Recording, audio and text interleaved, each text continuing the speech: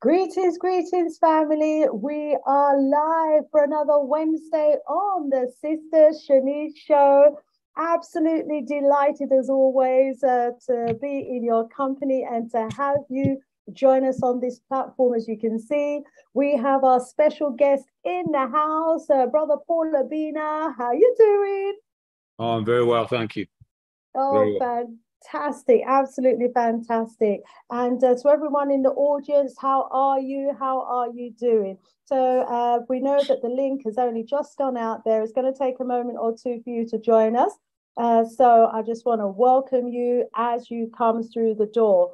And i'll use uh, actually these opening moments just to um, remind you of uh, some events that we've got coming up and also uh, the future guests that we've got coming up as well. Yeah, let me let me just share screen and uh, do that uh, with you right now.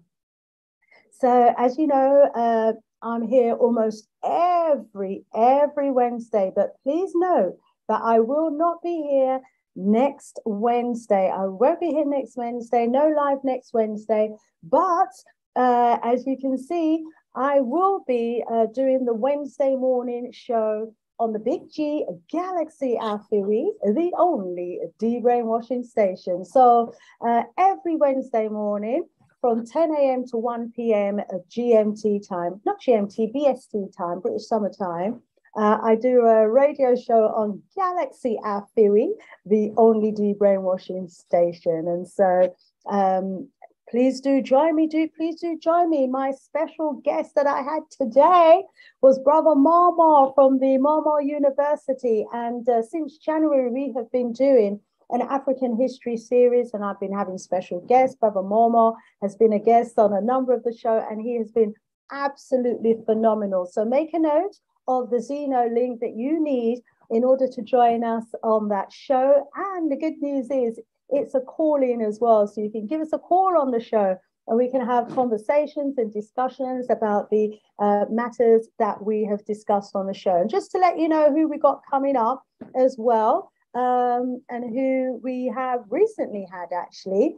So, um, as you know, those of you who watch Last Strong will know that we had our brother, Dr. Kafusa, in the house. Oh my days, he was absolutely phenomenal. And uh, just to remind you that his video is there for you to look back on, uh, get your notebook and everything handy, and uh, you can see the works there. Let me just click off of this uh, X here. Uh, and yeah, and you'll be able to watch his video back. And then another date for your diary is Wednesday, the 21st of September. So I'm not here next strong, but the following strong, we have the return of our brother Leo Muhammad. Oh my gosh, he's going to be coming with another phenomenal, phenomenal presentation and message for the African man, part two. So make sure you don't miss that one, okay, family? And then following uh, in the couple of strongs following our brother Leo Muhammad, we have the return of Dr. Clyde Winters absolutely phenomenal historian, anthropologist, linguistics, author of numerous books. Uh, I'm actually doing his course at the moment, his research course, and uh, Wednesday's session was on statistics. Oh my day, statistics don't get any easier. uh, but he's a phenomenal, phenomenal teacher. Absolutely enjoying uh, his course, and uh, we've all got to do a research study. And my research study is going to be looking at the history of um, the original Africans of Ireland. Now, a lot of you are probably thinking, original Africans of Ireland? Yes, uh, Africans were the original people to populate the region of Ireland, and I'm doing that research, and it's really, really interesting. And also coming up uh, then on Wednesday, the 12th of October, is our brother Nubian Jak.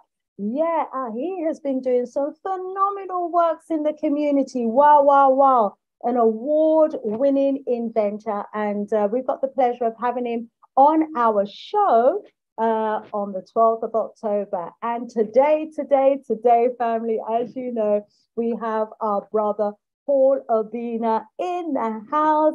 Uh, he's the man behind the scroll with over 8,000 years of our history. And that scroll is being updated as we speak. And it looks even more colorful with even more information. Wow, wow, wow. I don't know how he does it, but you know, uh, I can only imagine the amount of research that goes into their works. Uh, I've got the uh, original scroll, the original version, and I still often make references to it today. My brother Paul, uh, hmm. you know, give us a bit of information about the background to that scroll. What was it that made you decide that, you know, I want to do this? And then just tell us a little bit about how you've actually gone about doing the works, please. Well, I, found um, what one of them was being mixed race because uh, what I was finding was that anytime I wanted to find any information about my father's people, it, I had to dig it out or whatever. And then I just a deluge of Tarzan movies and like he, he, even in even in Africa, there was an illiterate white guy in his underwear was running things there, and, I and I couldn't um, I couldn't get my head around that ever from being very very young and so I started doing comparisons. When I when I started looking into history, I just looked at the dates. That is a simple thing, and and the oldest the oldest European civilization I could find was um, was of course Greece, mm-hmm. and then then I looked at the dates of Egypt, and that's just on the short chronology, and it's like two thousand years of history before the even the dark ages of the Greeks. So it, it was a really simple thing. And, and then I, I found, I, I, actually in the presentation, I've got the, um, the, the information part. So there's just the parts of me trying to balance information out. And then, uh, then, then I hit the work of uh, Dr. Hilliard. So that, that's, um, that's basically how it came about that. And he laid out some very simple, simple facts. And so that's how I ended up uh, doing the, the timeline. Possibly ninety. I think the first one I did was 1991. Right. And then um, it's only when I got computer literate that I could put it in the uh, order. And then now I, now I, um, as like I said, I was going to modify the timeline I thought it was going to be four to five days, four or five days to get it done. Yeah, I got it done. So four weeks later, working all different hours of the day and night, I've, mm. um, I've seen the light at the end of the tunnel now. So, oh, absolutely fantastic. I know the works, yeah. you know, it's definitely going to be worthwhile. And you make it sound so simple. Tell us, um, you know, the works that you were doing is this uh, on the 8,000 years, the research, you know, the graphics, putting it together, getting it published? Is this something that you had training to do that you went to college to learn? Or, you know, did it really just come that simply to you? Is this something that maybe, you know, you were destined to do? And so it's just all fallen in place. Uh, you know, inspire some of the uh, listeners out there. Well, I'm, a, uh, I'm, a graphic artist. I, I, I trained as an artist at college uh-huh. to teach art, even though I've never taught art really uh-huh. uh, since uh-huh. I qualified. But um, I, I always had the graphics. I got a visually retentive memory. I think what it was, my mom used to take us on trips when I was young. So I was born in 1959. So the most up to date thing then was taking slides uh-huh. So uh-huh. because I was in uh you know, we, we go on these family trips out because there's like 10 of us. There's my what turned out to be my half brothers and sisters and foster brothers and sisters. So we go on these days out. My mum would take slide photographs, yeah. then do carousels with um well, it was just ordinary slides at first. Then the, the big technology was these carousels came. and um, So a lot of the young ones won't know what you're talking about there. That's their fault. That's their fault. You know, they, Time they, goes too quickly.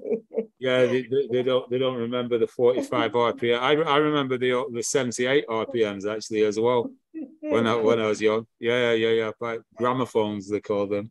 Yeah. So so um it's it's one of the blessings of being this old now. I remember all of this stuff. But um but yeah, what happened was my mum would show us the the trip, these slides, and so we'd be re- I'd be recalling the trip out, and I think in the in the midst of that because I was only I was only that young when we started. I was about maybe two or 3 mm-hmm. so the visual retention was actually placed in. Wow, yeah. So I'm not good with names. Um, I'm not a big I'm not a big reader as such. I, I go in and glean information and, and that I need, but um, I just have this visual retentive memory. So that's that's how I did. There's a guy called Ibrahim Brian Thompson, a guy in Liverpool, put uh, a, there's a document I did on the history of race and racism. It was a lineage of race theorists who formed the British education system and the assessment procedures.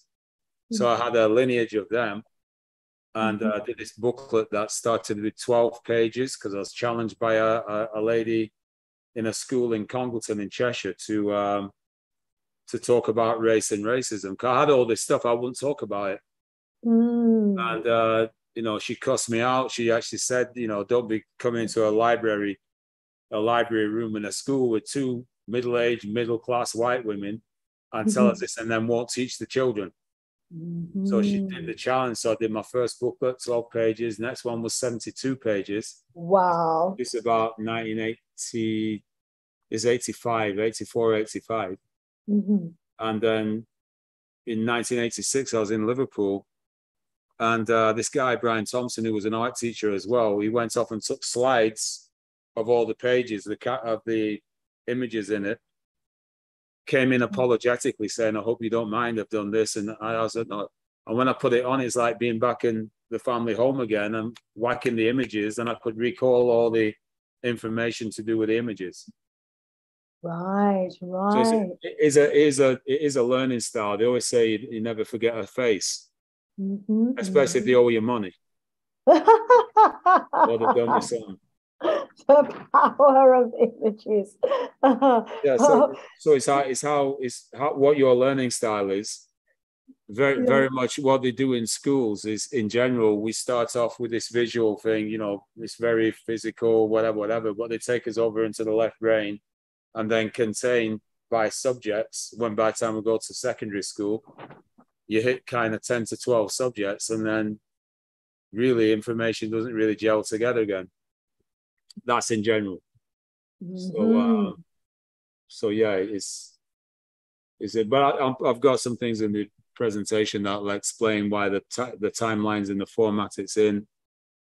Uh, I really want to drive that home with people, see, so they see what they're looking, they know what they're looking at.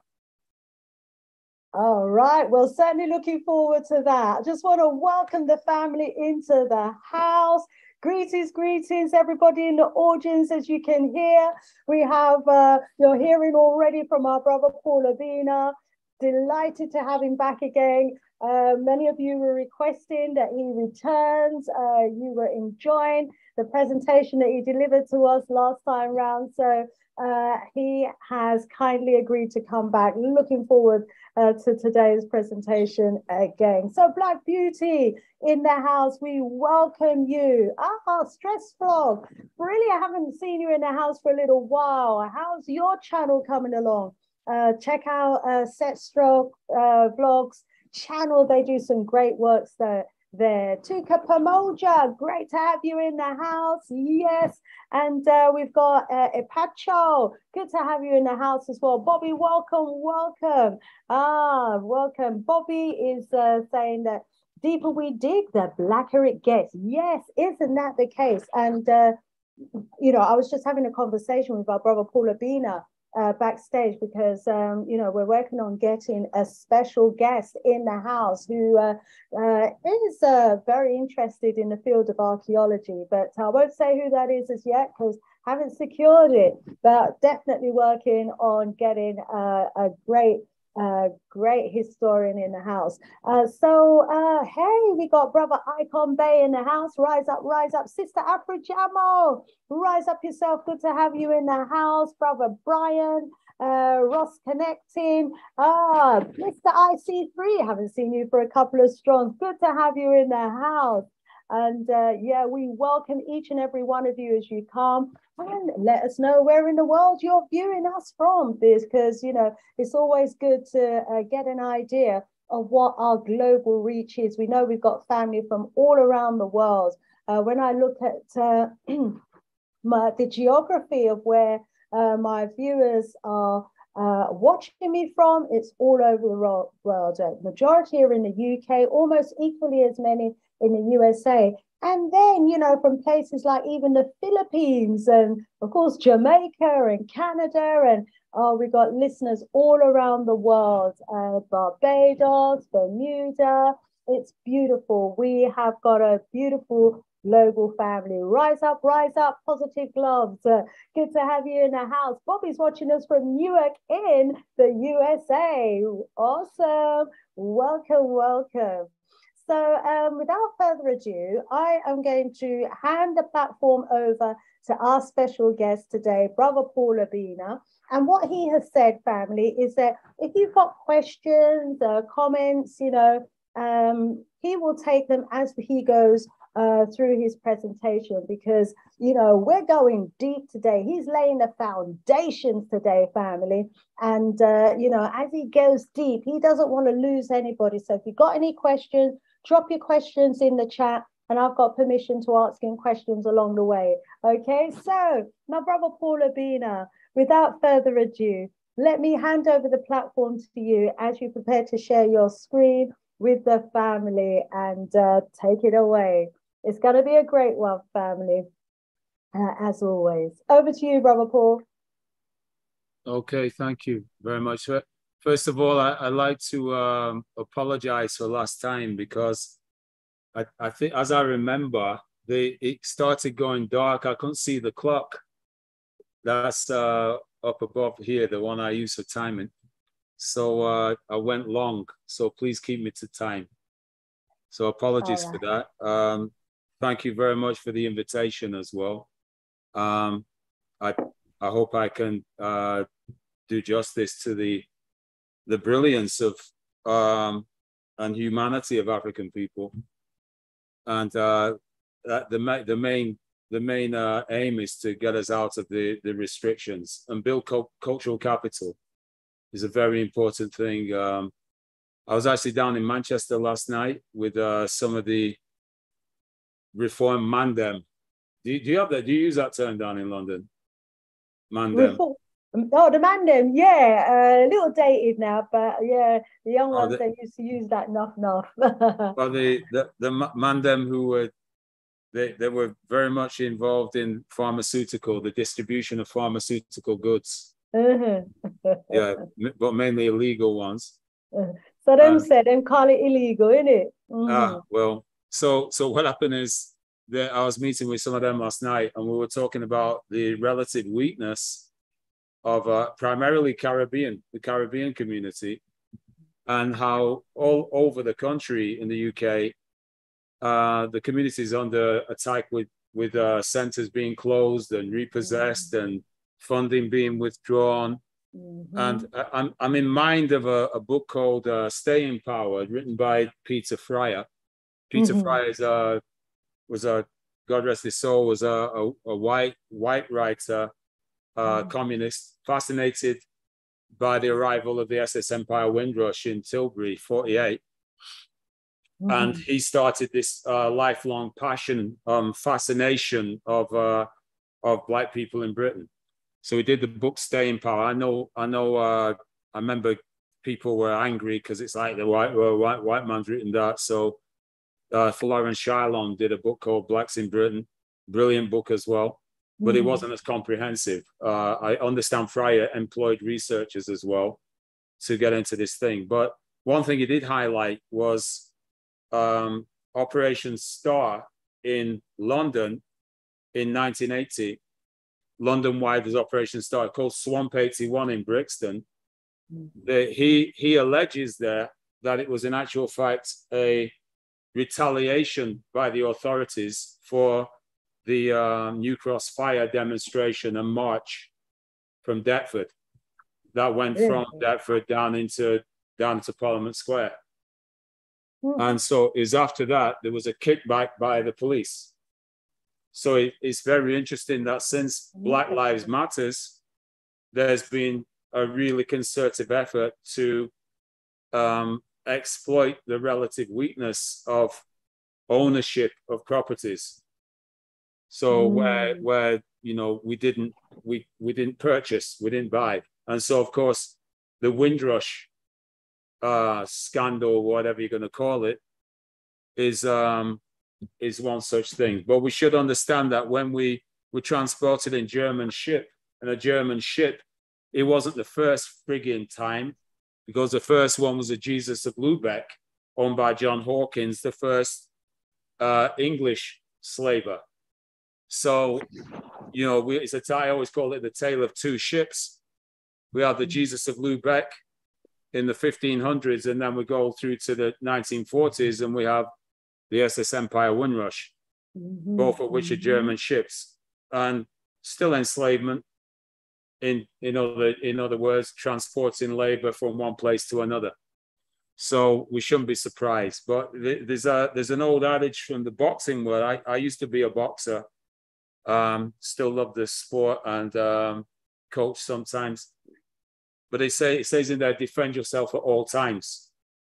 Mhm. And part of that, of course, it's always about the mind. It's not about the, it's not about just the physical. It's about the mental and also about the psycho spiritual and how we how we prepare ourselves.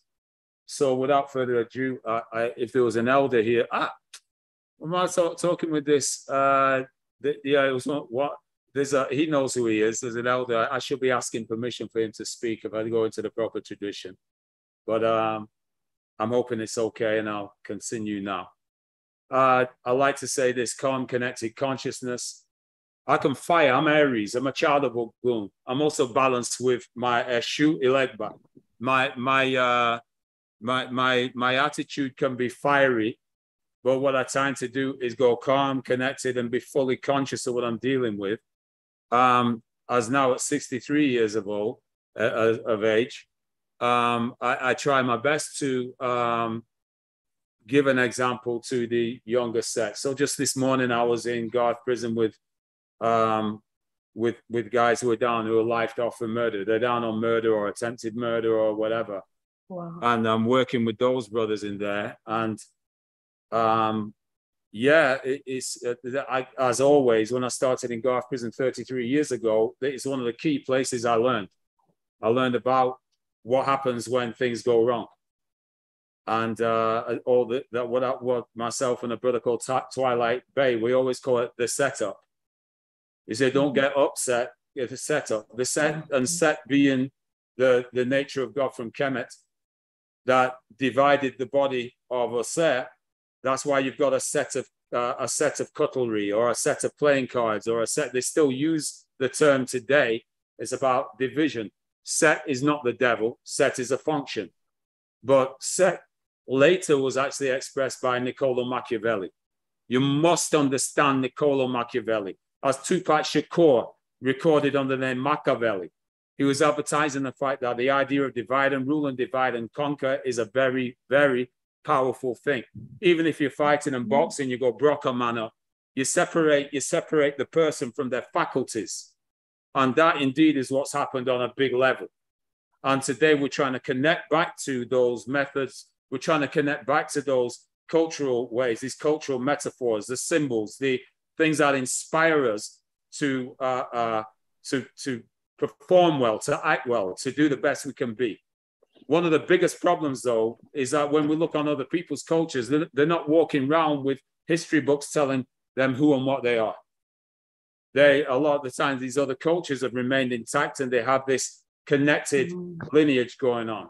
So one of the things that uh, I know uh, Anthony Browder, Asa Hilliard, I'll be referencing, they, they, they both talk about historical discontinuity, as Dr. Clark says as well. We've got a historical discontinuity. It's called interference in communications. It's, it means that they've actually put a block in there. But let me get on with that. I'm hoping there's, that's uh, a little bit. There's a, an introduction to the timeline. I have a structure I'm going to show you now. This is these are the levels. What we call the presentation is basically lead and bronze. we're doing today, we're going to do some archaeology. We're going to be digging in to the stuff that they didn't teach us in school, or we forgot about, or we forget to apply the simple basics of what uh, that gives us a grounding of understanding. I always remember every time I say this, uh, I remember there's a book by Walter Rodney that was written called uh, The Brilliant Scholar, Walter Rodney, uh, Pan Africanist. Mm-hmm. Um, it's called The Groundings with My Brothers. And the groundings, if you ever go into the, uh, the Art of War by Sun Tzu, or those of you who are the great, um, the great philanthropists who like to give money for uh, uh, sick animals. The only thing is we don't know they're sick when we back them. I'm talking about the guys who spend time in the bookies. Now, what, what happens is uh, you always look at the going, the grounds, the groundings on which you're going to be uh, uh, going into battle. The, the race horses move. Some horses go better on harder ground than others. Is it firm? Is it soft? Is it whatever? We got to understand the groundings, the, the, the, the foundations on which we're building things. And it's all about the balance, how we get the balance, which is seeking Ma'at in a very practical sense. But we'll get onto this. So lead and bronze. We're going to go into the lead tonight. These are some of the basics. Like I said, the alchemic structure is a medieval forerunner of chemistry, concerned with the transmutation or changing of matter. This is what we call in in uh, in Kemetic times the blacksmiths or the followers of were the followers of Heru. It's what we call in Yoruba. We're going to call that that's Ogun the transmutation of matter. Please listen to Professor James Small, who, be who can explain all of those facets. That uh, that when we're talking about our orishas, we're talking about our, our the, that what leads our head, our nature, and how we apply ourselves in our day-to-day activities. It's not walking like hieroglyphs. That these are practical dynamics which we need to be applying in our day-to-day life without apology. Let me say that again without apology. No one else on this planet steps. Uh, is, there's an old track by Heatwave back in the day, 1975, called Ain't No Half Stepping. Ain't No Half Stepping. It's a double negative, by the way. It's bad grammar. But Pink Floyd can say we don't need no education, but we know what they meant. But what we got, what we've got to do is get to this thing. There's no, there's a commitment in the way that we live, and it's one thing without apology. So if we've been made to feel scared of ourselves because anything that we do spiritually is considered negative by some of the most heinous behaviors that's ever hit anywhere on the planet, we've got to get that out of our heads. Deal with that without apology. The biggest thing that people know about alchemy for was turning lead into gold, lead to gold, or finding of a universal elixir. So basically, this structure is, like I say, the foundation there's a symbol there. I explain why. We've got history. And the key thing is about your brain hemispheres. The one thing they, well, one key thing they didn't teach us in school. After all, the, we're in school 14,300 hours from the age of four years old to 16. 14,300 hours. That's until Willie. Did they teach you about your brain? Hell no. Why? Because they want to mess with it. I nearly said a bad word there. I'm sorry. They want to mess with our brain so that we can be conditioned to buy, to be controlled, to be fearful, etc., etc. And it's very, very important that if you're going to be a citizen, a world citizen, a taxpayer, a member of society, that you are fully cognizant of what's going on, that you can use your brain power, your, your mentality. You can use all of those things. And if we have not researched the, look, the ancients were telling us all of this with the neter, with the nat- natures of God. The key one I'm always got, I've got in my shrine there. Over there, I'm looking there, there's my Ma'at and Chihuti, twin together. Twins. These are things talking about the right and left hemisphere of your brain. And so from that, that foundation, we got to do so a little bit of excavation tonight with that. When we go above ground, we got here, we expand this, and notice I spell history with a Y. Why is that? Because hist is a Greek word means wound, hysterical, hysterectomy. For instance, someone who's hysterical is basically acting like a woman. And so, yeah, yes, exactly. But we know when the going gets tough that a set gets going, or ISIS or a set gets going, and it's that which goes and completes cycles and, and brings forward the next the next generation that will change things. So when I say here, history, I spell with a Y. On the timeline, you'll see there's a yellow line goes all the way down the timeline, and on top of that yellow line are the dates that have been decided on by historians. Each people, uh, Muslims have got the Hijra. The uh, Jewish people have got their own dating system all the different people, uh, Molefi Asante, Kete Asante, called ABA, the age of beginning again. So he started a, a, a, cycle, a timeline from 1619 when Africans were landed in the USA. Oh, well, it wasn't the USA then, in North America. So what happens is the most important thing is that yellow line, which is a golden thread, which is the mitochondrial DNA held by your mama, by, by the mother, by the mother principle. And that is what we tap into. It's like a plug being tucked into the socket. This is the male part. This is the male fitting on, on the plug. But the socket is where the power is held. That's why the pharaohs had to marry into the lineage. Never mind these things they tell you about people marrying the sisters and all that other thing. That's an interpretation. It's like if I if I said, "Oh, sister Shanice, oh, is she your sister?" Or I say, "Oh, brother Ben, is that your brother?" No, it ain't. It's, a, it's addressing a relationship, mm-hmm. a familiar relationship, a family relationship. So when we start talking about our family, we're talking on a wider level. You've got to get by all these things. It's a, it's a, by these things. And we've got to acknowledge our, our history. My son will be on 24th of October, day after the creation date by Bishop Ussher. Uh, um, piece of craziness there. What happens is he, he's going to be um, he's going to be 14 years old. I don't oh, get on well with his mother now. But I have to send her flowers. I have to say to her, thank you for the boy's life. Yeah. I made an investment and I got a return on the investment. Yeah. And I got, it's got to be celebrated. And the generative power of the human life, of the human family, is your mama. And that's why every birthday is Mother's Day, started now instead of waiting. Every birthday is Mother's Day. You should be celebrating your mother. And don't say, mm-hmm. oh, I mm-hmm. celebrate my mom every day. It's like those people, oh, Black, Black History Month. No, we did Black, I celebrate Black History every day. Oh, shut up. It's a focus point. It's a focus point. Mm-hmm. That's why we need to have that energy and build our cultural capital. Mm-hmm. Never mind mm-hmm. dissipating and everybody else jumping on that. Get it so we celebrate our origin. We mm-hmm. have that mm-hmm. strength and our power that's within us, our DNA. And we need to start living that thing out. I'm shouting too much, sorry. no, you're not. no, okay, you're okay. Not. So the history, that's what the lineage timeline is about, is expanding the consciousness. So we get out of this piece of history, yet important, enslavement is important. However, every time we're spending time there, it's a time we're being reminded of someone else controlling us. And a lot of people have no identity because they don't want to be African. It's like James Small says, how can you claim that you want to be free when the one thing you'll be when you're free is the one thing you don't want to be, which is an African? So what, why we got to get that dynamic go to expand the consciousness. So all the different people, the people you've got coming on the show, the, the, the people that we read in, that we watch, well, mainly watching these days, the people that we're watching and listening to and whatever, it's to expand the consciousness. But at some mm-hmm. point, we've got to act on that. Absolutely. So when we mm-hmm. start with the thing, start with your birthday, give thanks to your mama, right? Mm-hmm. In my case, I've never met my father. If I catch the rascal some point, you know, I can oh. say, I can say thanks, pops, or whatever. But never met him, seen him, even a photograph. So it's a case of that. But I said, I've just recently started to celebrate in Igbo, we call it my Umunna, the Umunna, the father's lineage.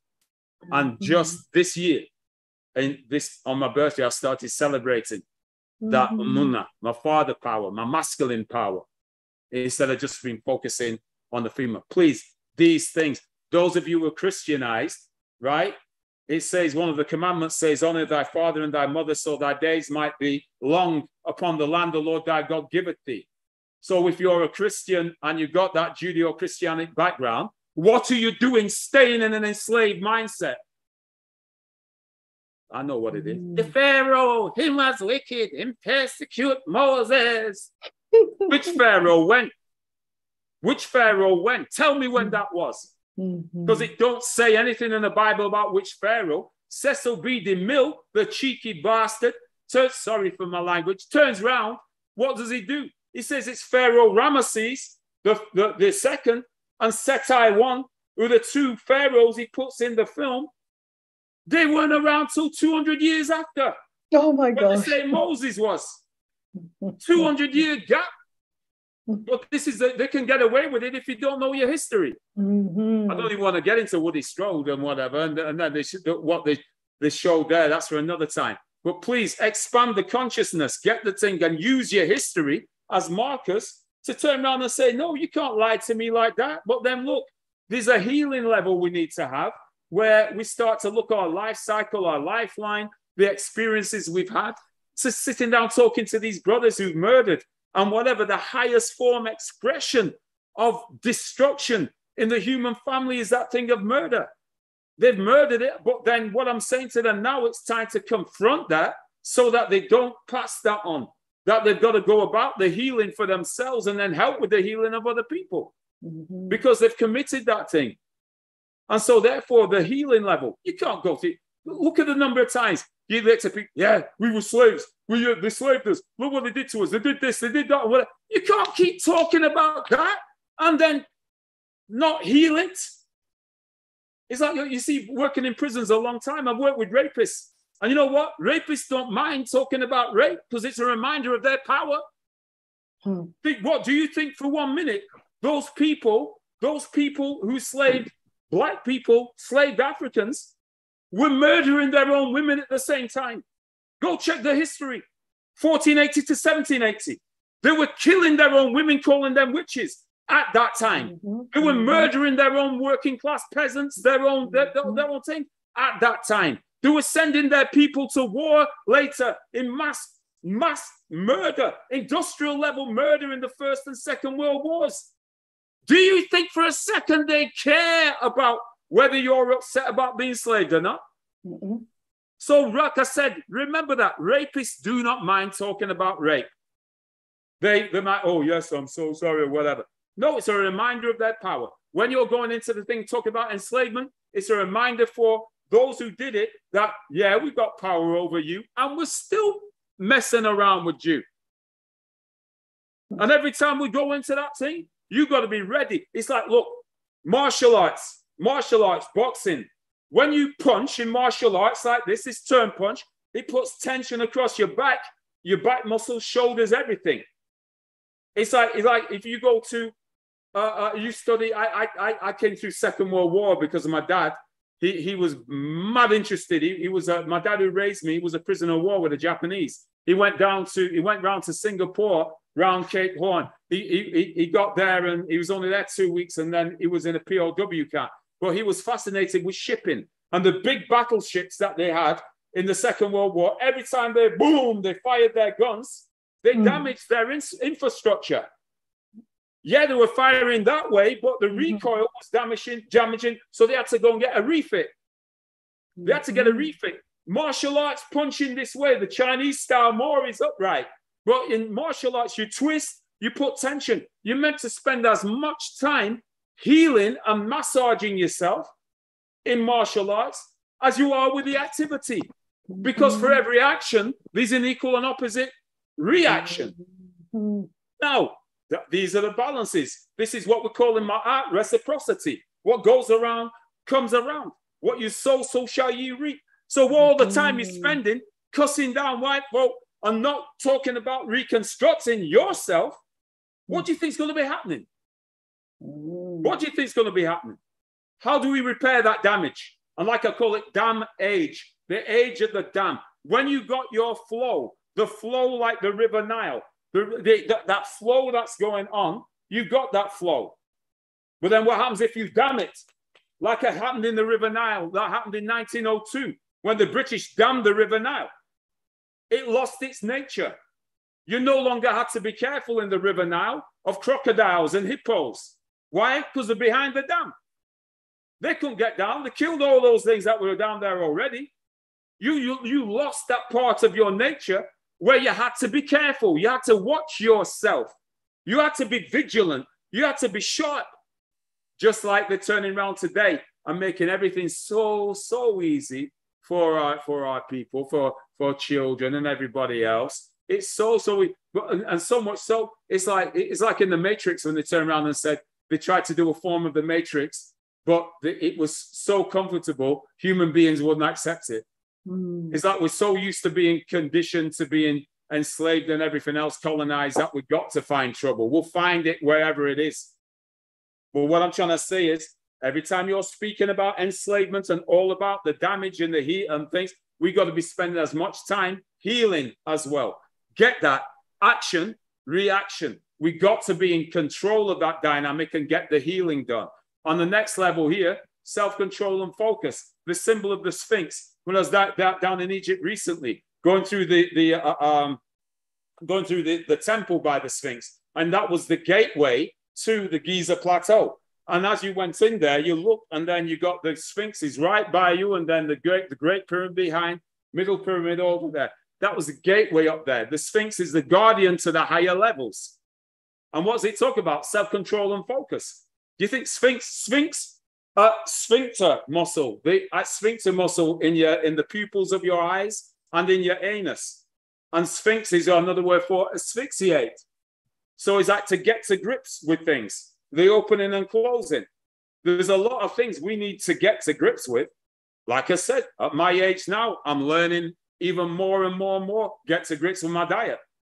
Get to grips with what I'm putting in my system.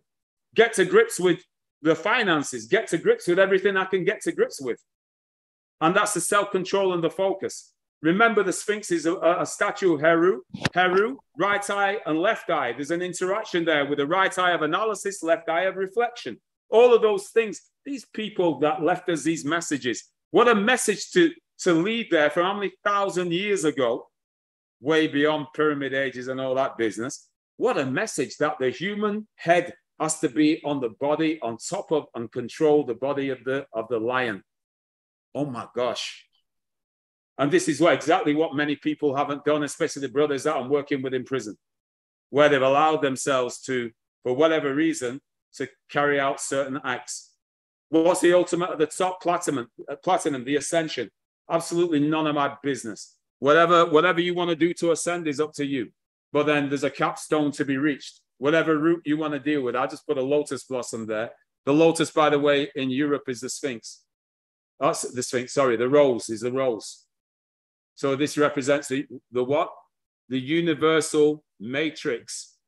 The universal matrix. It's a symbol in Kemet of the spiritual lands, of that of the white crown, the matrix. Oh my gosh. Matrix means womb. Literally means womb. That's M-A-T, wow. Mata, mother. Matrix is the womb. That's where your father's sperm hit your mother's egg it, it went to 2 to 4 to 8 to 16, 32, 64, 128, 256, 512,028, uh, 1,028. And what goes on is that that's binary cell division. Wow. The, the egg divided, but it multiplied in size. It subtracted from its original some added size. All the generations live within you. And you mm. are. If you can see yourself now, go look in the mirror. That's what I had. Was it Leonard Jeffries and Professor Edward Scobie laughing in my face when I said, I find it hard operating without an elder. This is when I was younger and I was hot. My temper was hot. I said, I find it hard operating without an elder. And they laughed in my face and I got vexed with them. I said, cussed. And they said, Paul, the reason you don't have an elder is that you're not meant to have one. What you need to do is look in that mirror over there and you've got to become the elder that you need now. This is when I was 30, 30 years old. Mm-hmm. 31 years old, sorry, 32 years old I was. You've got to become the elder that you need now, you've got to become that person. And so that's what you say. I, you know what? I am the living, breathing, walking, talking representative of every ancestor who's ever lived. I'm here, I'm now, I'm living. Not could, should, would, dealing with things. And you got to remember that. This is the thing. Every time you got that, that idea of a timeline, no matter that lineage timeline, what's inside you, down your mother, down, down your mitochondrial DNA. Why would you be turning around and looking for? Oh well, they can do that. Oh, they're not doing. Oh, look at it. You're there repping what? What kind of power have you got in you? Wow, mm-hmm. wow, they've done a job on us, man. So anyway, this is a this is the first page in the timeline after the cover. It's the brain hemispheres. I, I don't care. I, I saw uh, brother Buddy Laryea and uh, that Arsenal fan that's on the, the, the does the work with him. But I don't I don't like brother Nat. I think he's called. He supports Arsenal for that like that Mark whatever he's called. All them Arsenal supporters, and uh, we beat them the other week as well. So it's, it's great. So anyway, uh, this the brain hemispheres. They're doing something about how does your mind work, and I always put that there. I'll explain this in the it's in deeper, but when you're I, I, I saw the golden mask for the first time in the uh, in the museum in Cairo and I was breathtaking man. I was like damn that is some craft artwork and whatever. And these are the messages. You got the vulture and you got the cobra. It's right and left hemispheric functions. Go check it out. It's it's very important and the word discipline first four letters say disc and the last four letters say line the word in the middle ip Ip, the ip is Greek for horse. And what happens is that true power comes when you got the function of your right and left hemisphere acting together. This is what I always say. This is a little quote I made myself. I said the brain is like the earth, as both have hemispheres. What happens in mm. the brain, we call the mind. And what happens on the earth, we call the world. And guess what? Whoever controls the mind controls the mm-hmm. world. But mm-hmm. further, whoever controls their mind will control their world. And that's a very important facet. You look for other people to control it. NASA, look for inspiration by all means. Look for those things, but we've got to get the drivers now. Get the drivers. And watch this. Even the most simple thing of being an example to your child, to children, just to people around. It's not about what you say, it's how the watchers move. It's how the watchers move. What do, what do you do? Do you help people or is it, do you hinder people? Take the, the stops that Dr. Welsing, Dr. Francis Cress Welsing said about, I think it's the 10 stops, like stop gossiping, stop dropping litter, stop, just those basic damn things. I always remember I was in Manchester I gave up. There's a a group of a street organization there called the Gooch, and one of the one of the guys, the heads of the Gooch, we got into my car and he was at a takeaway, and uh, we're driving along, and he finished eating. He opens the window and throws the thing out. I emergency did an emergency stop them, pull over. I said, "Yo, brother, what the what what's going on?" He says, "Sorry, Pete." You understand me? Went and got the went and got the paper, went and got the wrapper to put it in a bin. Oh, you're giving someone a job. No, it's small things, those small dynamic, small things that build build this thing. Uh, uh, look at the Nguzo Saba. And they're talking about in the Nguzo Saba, it says that uh, uh, was it? We every time we leave somewhere, we go somewhere, leave somewhere. Is it better for our having been there? Have we improved it? Or have we just gone in and criticized and not gone?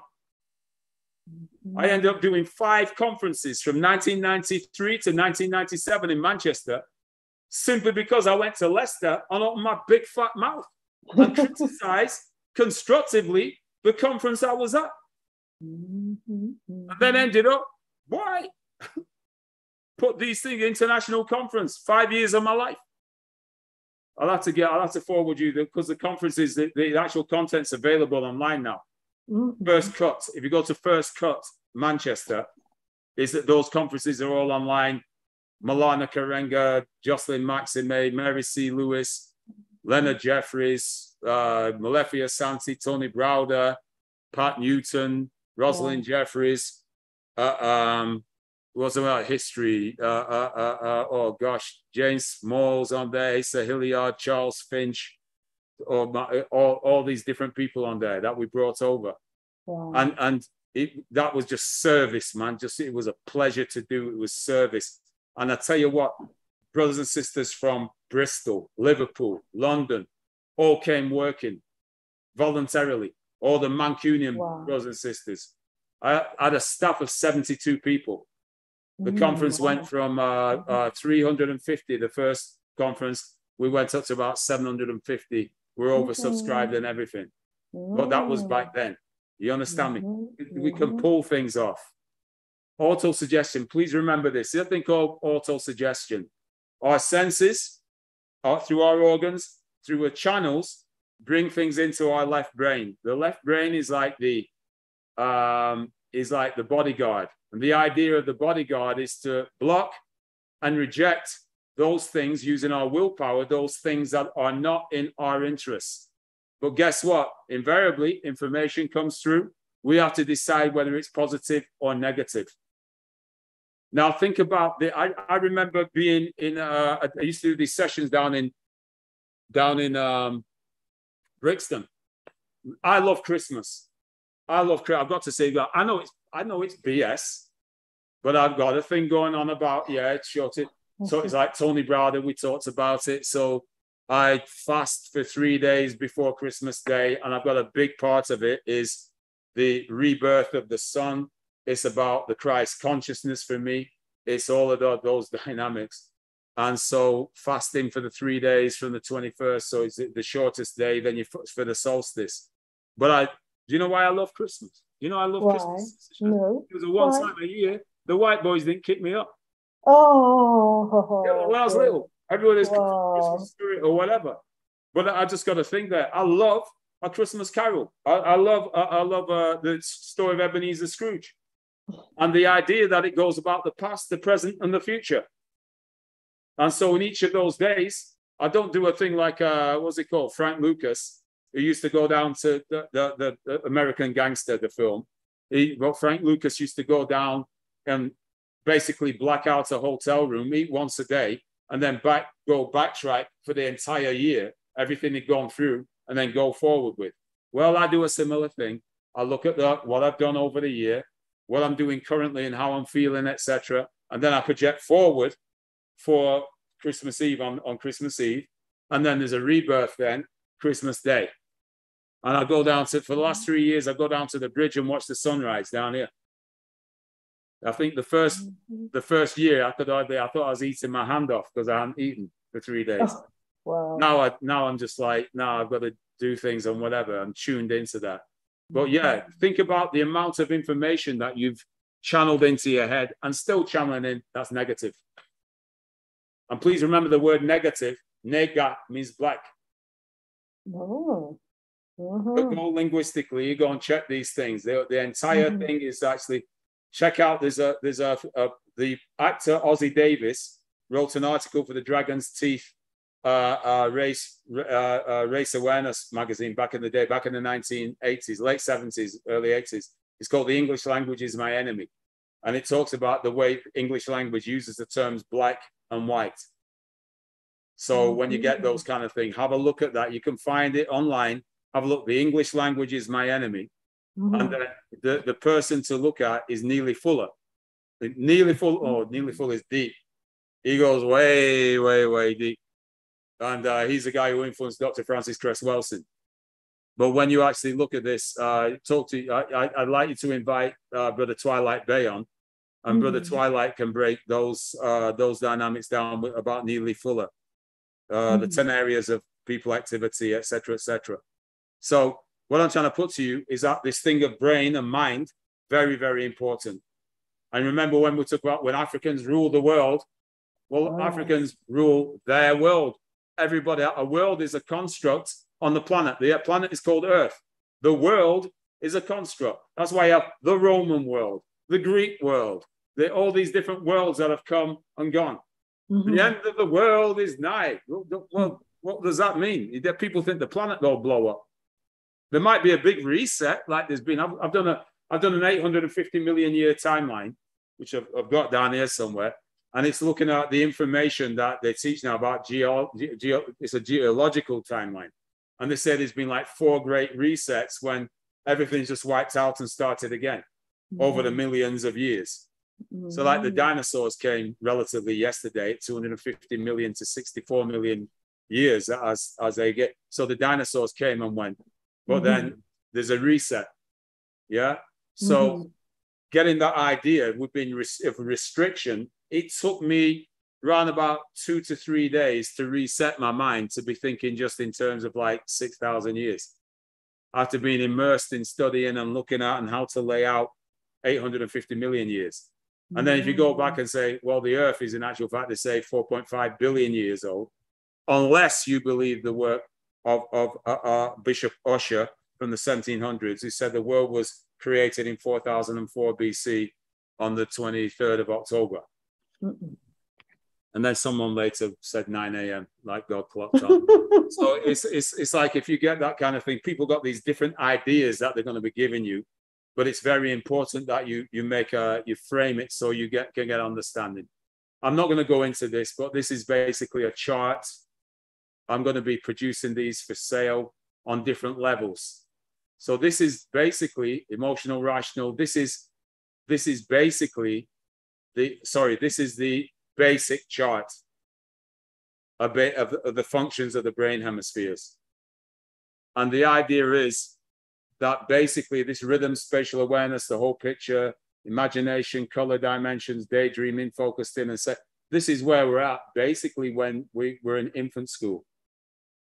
And then when they send us to school, we as we go across to take us more into words, numbers, analysis, sequences, you know, the bell ringing and whatever, whatever, lists, logic, conscious, focused out. The outer world is important only, and then linear con con uh, consciousness. So the idea is to shift us over.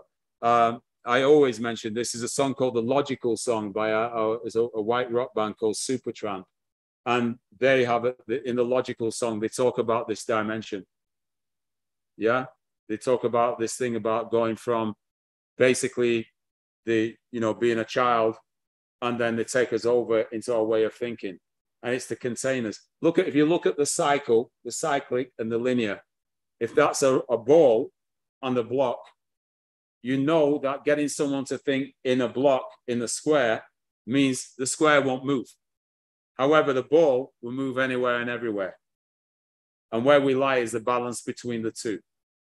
Those of you who can understand the symbol, look at Vitruvian Man, Vitruvian Man by Leonardo da Vinci.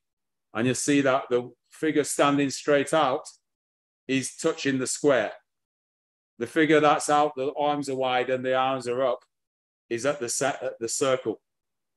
The center of the square is the genitals, that which creates constructs, it, it creates and brings into the so called world. But the center of the circle goes to the navel, which is how we were formed through our mothers, bringing through from the spirit. Some believe that our souls are guided into the body incarnate, and our spirits house at the, the moment that the heart starts beating. That's why we learn today, we learn things off by heart. We learn by heart. So the process demand this dehumanization requires rehumanization. We've been dehumanized, we need to be rehumanized to fulfill our power and potential. It means we can't have this construct limiting us all the time. And me, I've got to say to you, I'm a bit like I'm, people that say, What religion are you? P? I say, I'm a Bruce Lee fan. I love Bruce Lee. I love up Bruce Lee because he dealt with systems, not styles. He was like, they say, one of the first mixed martial artists because he, he, even he was with Gene LeBell. God rest his soul. Gene LeBell just passed away. So Gene LeBell was talk, talking grappling and fighting, but Bruce Lee was into groundwork. He was into kicking. He's into the boxing. He was into synthesizing all the different styles that he possibly could to take on to become a fight. Well, I love that. I will use any reference points because if we talk about humanity and then all, all these things, in fact, I had this, uh, I had a bit of a, uh, a discussion with a brother because he was going on about oh Europeans Europeans have uh, Europeans lied they lied to us and I said which Europeans? And he's like ah well they lied. And I said which frigging Europeans? Now watch this. Are you going to turn around and say that for instance Fran- Frantz Fanon who was listening he was uh who get the wretched of the earth that drove uh drove the Black Panther Party Frantz Fanon was, uh, was a friend of Jean-Paul Sartre. whose idea of existentialism was about a liberate, was a relative liberation process for Fanon. Then you've got you've got uh, uh, what's it called, Schwaller de Lubicz, the French the French Egyptologist and guy who was a big into the esoteric, who sat down in Luxor Temple for 15 years. Asa Hilliard used his work. So once you actually once you actually go, no, or just what black black, black, yeah, you can say that now But going back, there are people who, and listen to this, they've actually sought to tell the truth from all different walks of life. So, as I say, by any means necessary, yes, we've got to have the integrity of the sources. You've got to have that. But yeah, you're going to turn away from knowledge? Wow. Wow. The corral, an enclosure for horses, cattle, etc. This is what I covered last time. An enclosure for capturing wild animals, a state of unconsciousness produced to maintain restricted, confused, and dehumanized mentality. And that is one of the key things. And let me say this in the one uh, land of the blind, the one-eyed man is king. In the land of the blind, the one-eyed man is king. And it means that people, if you if you get get a thing, I I I'm, one of my friends, dear friend, took a took a name on. I said, why did you take that name? He said, I want an African name. I said, that's an African name. It's a it's a bloody uh, what do you call it? It's a it was a, a, a an acronym. But he thought someone told him, and because he didn't know, he, he took gospel that that was the truth. That's why I love Frantz Fanon, the end of Black Skin, White Mask. He says, Oh, my body, make of me a man, a mind who always questions, always be questioning. I always laugh. and I said, when you look at Tutankhamun or the pharaohs, and they got the, they have the, uh, the, the covering the, the, uh, the symbol of the death symbol, and they got the flail and the shepherd's crook. I always say the shepherd's crook looks like a question mark. Always keep questioning. Always question. Question your sources. Yeah, we don't have time to be resting, resting on, on things. This is a decagon, a 10 sided shape, a symbol representing the time capture of decade, century, and millennium. They want to keep us contained into the state where European people or the people in power run things. It's called the age of Pisces. They don't want you looking past the age of Pisces. That's why they, they, they that's why they love doing the, the BCAD thing. The age of Pisces, where where this the the uh, patriarch, the current the current mindset and mentality came into being.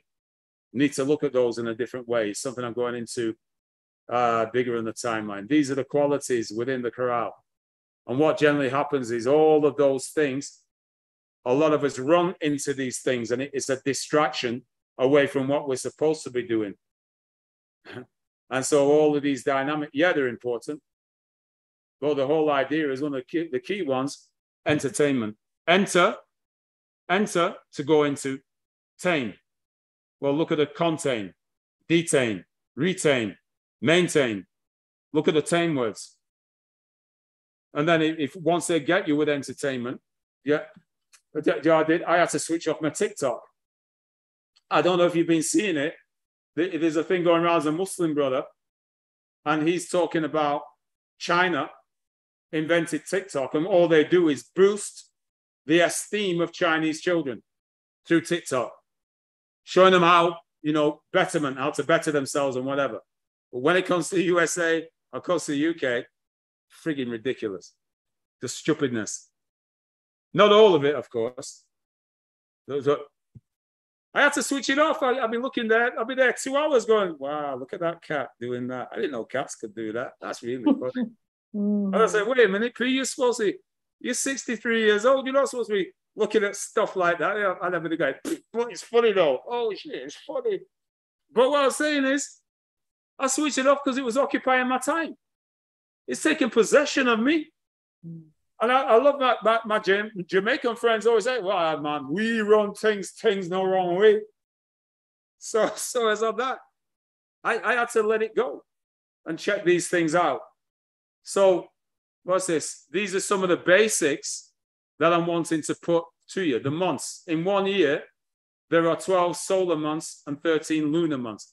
How do you how do we get that? How do we get 13 months a year? How do we get that? There are 13 months a year. Now, the funny thing is, I especially like talking to sisters about this because it's the menstrual cycle. And if those of you on the birth control pill, if you're taking it, you'll see it on there. When you when you get a birth date for your child, the mandala, that's not the president of South Africa, former president, that's Mandela. The mandala is a chart which balances the solar and the lunar and gives you the because it's nine lunar months that you're in the womb, not not solar months. So there's all of these there's all these dynamics to check out, and so what happens is we we have that natural cycle. If I could show you over there, I have a lunar cycle clock. So I've got the lunar cycle going on. So we're heading. It'd be in about two days' time. We'll have the full moon. So the three days of the full moon, three nights of the full moon.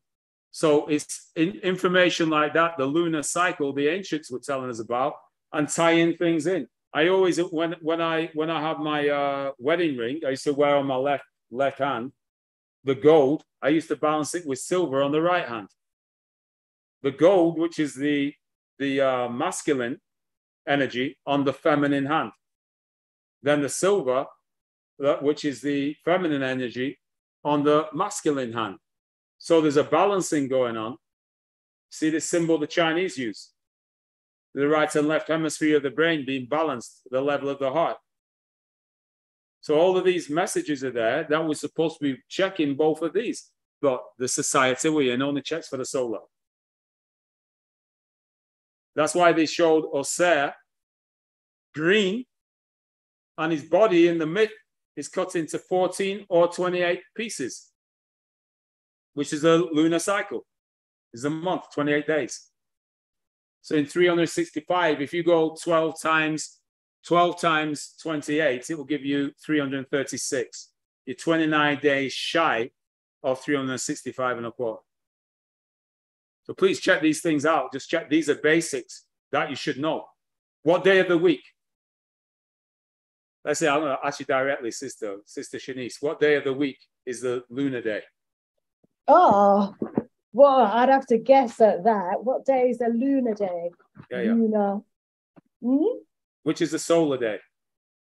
Oh, would that be the Sunday? Yeah. So what's the next day?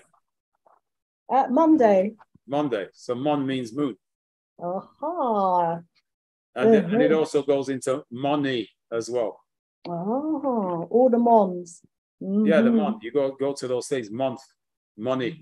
Mm-hmm. mm-hmm. And then what what does the money do? I promise to pay the pay, pay uh, I promise to pay the bearer on the mountain of and all that. Mm-hmm. It was the things that you grew.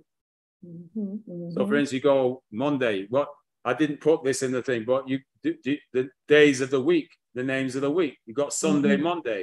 Mm-hmm. Then Tuesday, TIW was the Norse god of war, which is why in French it's Mardi or Mars Day. Mm-hmm. Monday in French is Lundi. And then when you go you go down the week, what's uh what's it? Wednesday is Woden's Day, hmm. Odin's Day, the great god. Mm. Thursday is I talk in the Irish. It's a talking in the Irish and they saying, well, tomorrow's a Thursday. It's Thursday. Mm. Then it's Thor's mama, Freya's day. Friday is Freya's day. Then you got Saturn's day, which is the market day. Not he's, he's a the, Saturn's a Roman god of agriculture. Mm. So we're celebrating their deities every day without realizing it. We're calling on the names of their gods on their deities, are we?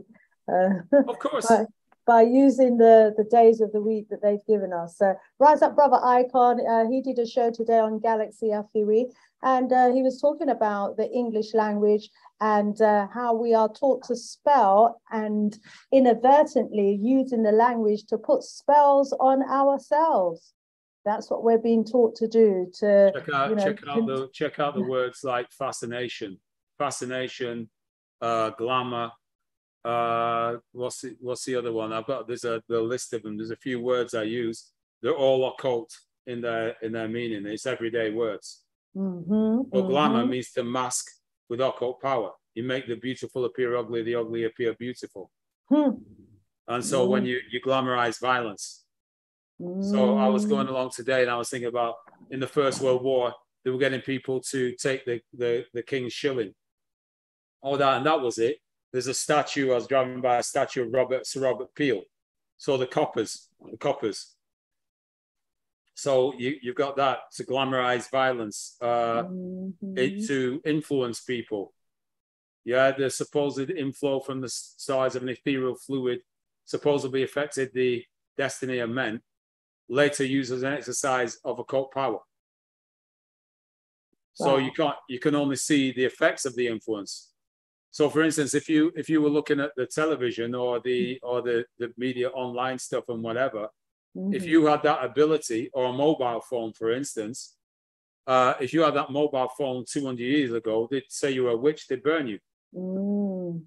So you see that it's like what we call science. So if you go to Africa and they say about, oh, the man knows science, or the Caribbean say he knows science, you're talking about Mhm. occult practice. Mhm. But now we'll pick up something. I, I remember I was driving in Manchester, and all of a sudden I got a call from Benin in West Africa. This is years ago. And I kind of went, how the hell's that happening? But bouncing off satellites and things like that. And I'm going like, okay, okay. So these are the things I've said. Go to your basics, excavate the basics, make sure that you know the basics. Because if you don't, you can get caught out with it. I, I'm not going to read all of this. Ayi Kwei Armah in the uh, in his book, The Healers, he talks about he talks about uh, the tongue of the storyteller, and it says such a story told by an unconnected tongue the middle hurls itself astonished at the ear before the beginning has even had time to be mentioned. The end itself is battered into pieces. The fragments are smashed against the listener's ear without connections, without meaning, and without sense. Mm. And so this is how it can be if you don't have a framework. Ella did the timeline for. It's a contextualization tool. It's just to place things in context. Because enough people, if you if you sit down and ask them, well, where did that happen in comparison to whatever, they don't know. I know people have been studying things for years. I'll, I'll tell you one thing in, in, a, in a minute. But let the error raise its own connect correction. The speeding tongue forgets connections. Let the deliberate mind restore them. Proud tongue, child of the Anona masters of eloquence, before you leap so fast to speak. Listen first to the mind's remembrance. So you say, yeah, there's your remember. You got there's an order to the way you do things. But let me uh, says the when and where.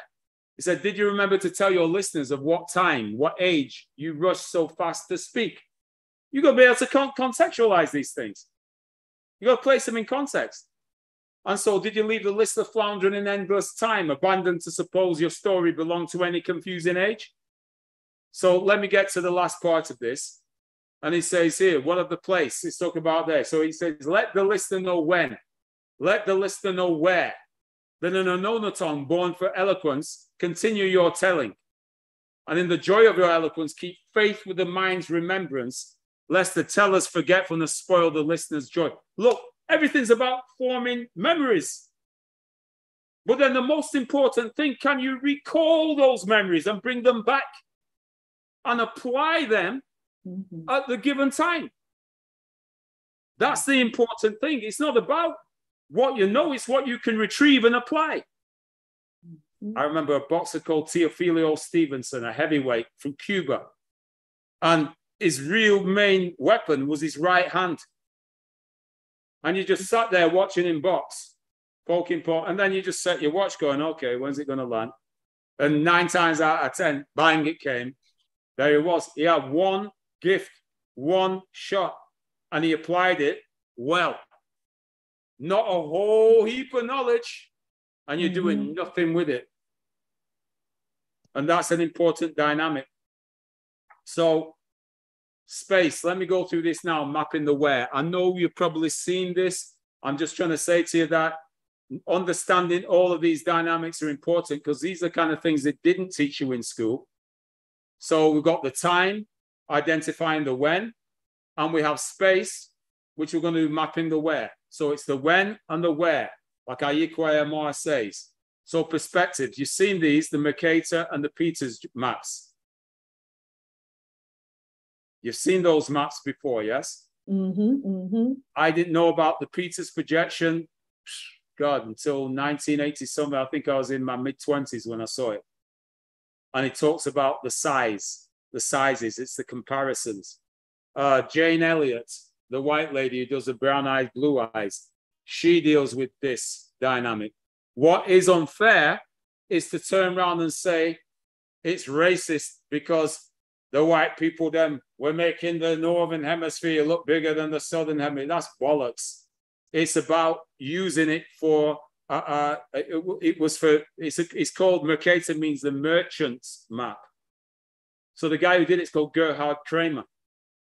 And what it was, using that map and the bearings on it, you could find your way around. It's about navigation. The argument is, Peters was saying, is that it to, for most people who aren't going to be traveling, you should be understanding that the southern hemisphere is of high importance and the people living there usually of color that they should be turning around and have a fair representation of that map so the brain mind relationship is what i put forward before the right hemisphere of the brain is used more in eastern philosophy and the left hemisphere is used more in western philosophy so there's a thing so that like i said goes on in the brain and the world whoever controls a mind controls the world whoever controls their mind controls their world got to stress that we need to know where things are. It's really funny. I was down in Nigeria uh, in Owerri when the Miss World competition was on a few years ago. And it was up in Abuja. And then there was like trouble in Abuja, riots in Abuja because of the Miss World Com, because largely Muslim up there. And uh, what was being said, I'm getting phone call. Are you all right, Paul? Are you all right? Well, that's like me being worried about something that took place in Glasgow. You get what I'm saying? You know, it's like, do we understand how big the world is where they are? It's like when I was in Brazil, I was living in Brazil. I have friends from London. They're going to go to the World Cup, and uh, they wanted to go and watch England play up in uh, up in, in in the north of Brazil. And they said, "Yeah, we're going to fly into Rio, hire a car, drive up to Manaus." And I went quiet, and then I'd start laughing. And they say, Well, what's up, Pete? I said, You think it's like flying into Birmingham and driving oh, London and then driving up to Birmingham? Mm-hmm. And they said, Well, what's up? I said, It's a five day drive. Wow. And then you need a boat because there's no roads into Manaus. wow. You have to go by the river. You have to go on the on uh, in uh, in, in the uh, Amazon. And they were like, "Really?" Mm-hmm. So I was living in Sao Paulo. Took six hours to fly to Florida from Sao Paulo halfway down Brazil. So you get the idea how big these places are. So get, mm. getting the kind of discipline that's going on. The planet Earth is checked by these projections. This is Gerhard Kremer. It's for navigation. It's a navigational aid. That's what it's about. It's not about racism. If a navigator wants to sail from Spain to the West Indies, all they have to do is draw a line between the two points, and the navigator knows which compass direction to continually sail to reach their destination using that map. Yet it spans, I'll, I'll, sorry, I'll explain it here. But Gerhard Kremer, this is when he's living. This is Arno Peters. This is a German, oh, this is a white dude who did the, the uh, Peters projection, which is teaching us more about the sizes of the earth and how big things are. And so he did that in 1974.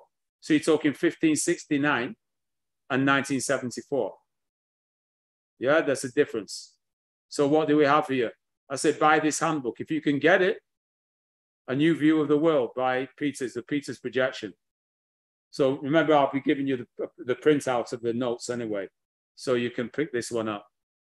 Um, by the handbook, it shows you the following information. So Peters, he produced this as a political tool and uh, it said Peter saw the erroneous view of the earth being supplanted in the psychology of the world's population by continued usage of the outdated Mercator projection. His main argument was that the Mercator projection expands the northern hemisphere and controls and contracts the southern hemisphere, where the majority of the world's population live. This, he argues, maintains the interest of European colonial powers in portraying the size and, in turn, the importance of the northern hemisphere compared to the south. This, according to the geographer Matt, Rosenberg, is not a new worry in relation to the usage of the Mercator projection. He wrote, the Mercator map has always been a poor projection for a world map, but yet due to its rectangular grid and shape, geographically illiterate publishers found it useful for wall maps, atlas maps, and maps in books and newspapers published by non-geographers. It became the standard map projection in the mental map of most Westerners or anybody educating us. So it's wrong to say Mercator set it up to be a thing. No, that's not right.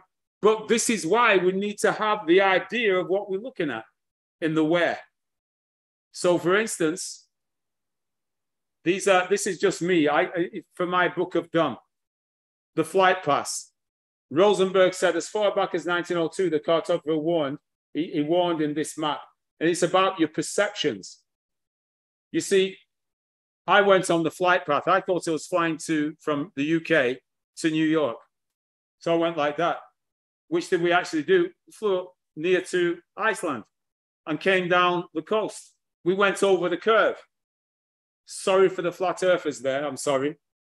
Yeah. But I'm just saying there was a curve that we flew on. And I was like, damn, I thought we just went straight across. How old was I? I was in my 30s, 1991. I was 32 years old. But I had I had these idea, this idea. So Peter's main argument, the north, 18.9 million square miles. The south, 38.6 million square miles. So basically, the red area is twice the size of the blue area. Just take that in because that's how we're being tricked. That's why the ancients gave us the right eye of Heru, the eye of analysis, the eye that will question, the eye of the child in the emperor's new clothes. We got to be questioning things all the time. It goes here, comparison one. Alaska 0.6 million square miles. That's the blue part. The red star, Mexico is 0.7. So Mexico is larger than Alaska. You've got here Europe, 3.8 million square miles in blue. The red area, South America, 6.9 million square miles. Almost twice as big. Then we have the comp comparisons of Scandinavia, 0.8 million square miles, and India, which is 1.3 million square miles. So you see, these are the, the this is a so think if they're doing this with a map, what are they doing with the rest of the history? And this is why we need to be vigilant. Greenland, this is my favorite, is not even 1 million square miles, and China in red is 3.7 million square miles. So the further north you go, the more the expansion goes out. And the, this, how many, I mean, when I was at school, they used to have a roller. They used to get an ink in geography. They used to open your book and they'd roll the map into your book. And then never questioned it, just took it in. Oh, that's how the world is. And they had it behind the newscasters and all kinds of, oh, wow. So Africa, so, sorry, Soviet Union in blue, 8.7 million square miles. Africa's 11.6 million square miles. It's, a, it's, it's those comparisons that are actually there. How big is Africa? You can put in Europe, Alaska, United States, and China into Africa. To fly down to South Africa, 11 hours from the UK, going straight south. Have a think about how vast that is, how big it is. Someone was said to me, they go like, "Have you been to? Oh, have you been to Africa?" I just start laughing. I said, I said, skirted on the out, on the out, on the outskirts of it a bit to Nigeria, to Ghana, a bit to Cote d'Ivoire, a bit to South Africa, a bit to, to Egypt, to, and I just go like, have you been to Africa? Nah, not really. A couple of places. You understand me? But they, they teach that Africa is like a country, isn't it? That's how they tend to. That's how it tends to be put over. The mm. equator. Mm. On the uh, this is the equator the halfway mark. 18.9 million square miles versus 38 million square miles. And then if you go like this, if, if that's one size, what they've done is no longer the equal halfway line because you've got two and a bit up above the line. Be alert, be vigilant, check these things, question the thing. Even I, have been dealing with this for years and years and years and years. I still check things out. I still have to check, double check what's actually being given to me. Because, you know, how many continents? Here's one. How many continents are there? Five or seven? What would, what, what would you say, sister? Are there five or seven continents? Oh, I would say, um, well, I would have said less actually. So I'm going to go with five. You go with five. Mm-hmm. So a, con- a, continent is a continuous landmass. Mm-hmm. So what do we have there? We have venture in between. continu- continuity. So these 5 Mhm. You notice what the last one did though? You notice that one? Yeah, yeah, it's gone horizontal you- instead of vertical. No, no, no, no. What? What? It goes right across Europe. Oh, okay. Asia Yeah. and Europe. That's why, one landmass. people are called. Caucasians. Yeah. So, so you see, hmm hmm they, they, they put this in there. So you got America, Antarctica, Australasia, Africa, and Asia. hmm hmm So Europe is the western peninsula of Asia. hmm Europe used to mean central Greece, then the Greek whole Greek mainland, then the land behind Greece. That's from the Oxford Universal Dictionary. I'm not putting something else out. That's the Oxford Universal Dictionary. I've got copies of it here. So what that's what they say. And then they applied it. So what happens is the seven continent theory, the division of America at Panama, and then there. And then what to do? What to do is like North America, Antarctica, Africa, Asia, South America, but then they have Europe. You get what I'm saying? Yeah. Uh-huh. I once asked these children in school, I was, I was doing a geography session, and I said, What do the continents have in common? And this boy said, They all begin with A and end with A, sir. And I went, Oh, that, except for Europe, except for Europe. So they've separated themselves off the rest of the Asian continent. Hmm So you got the Russian people, then you go to the, the uh, Southern Asian. So this is the, the dynamic that they've actually got. So it's an imaginary division of Europe. It's a uh-huh. very important dynamic. Yeah, sorry.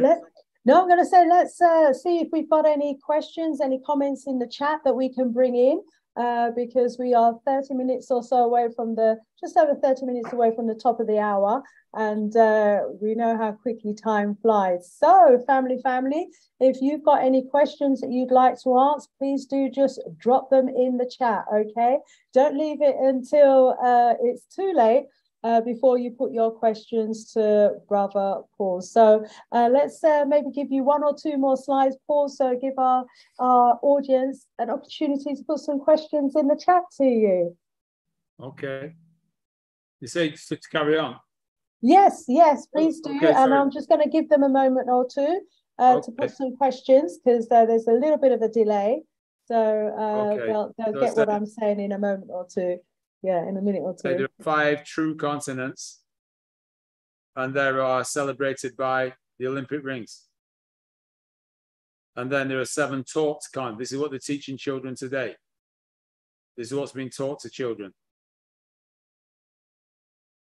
So you see what the idea is. And then Europe, by the way, is expanding. So what they couldn't do in the Crusades, they now, through politics and cartography, if you check the boundaries of Europe now, you'll see that Turkey is part of Europe.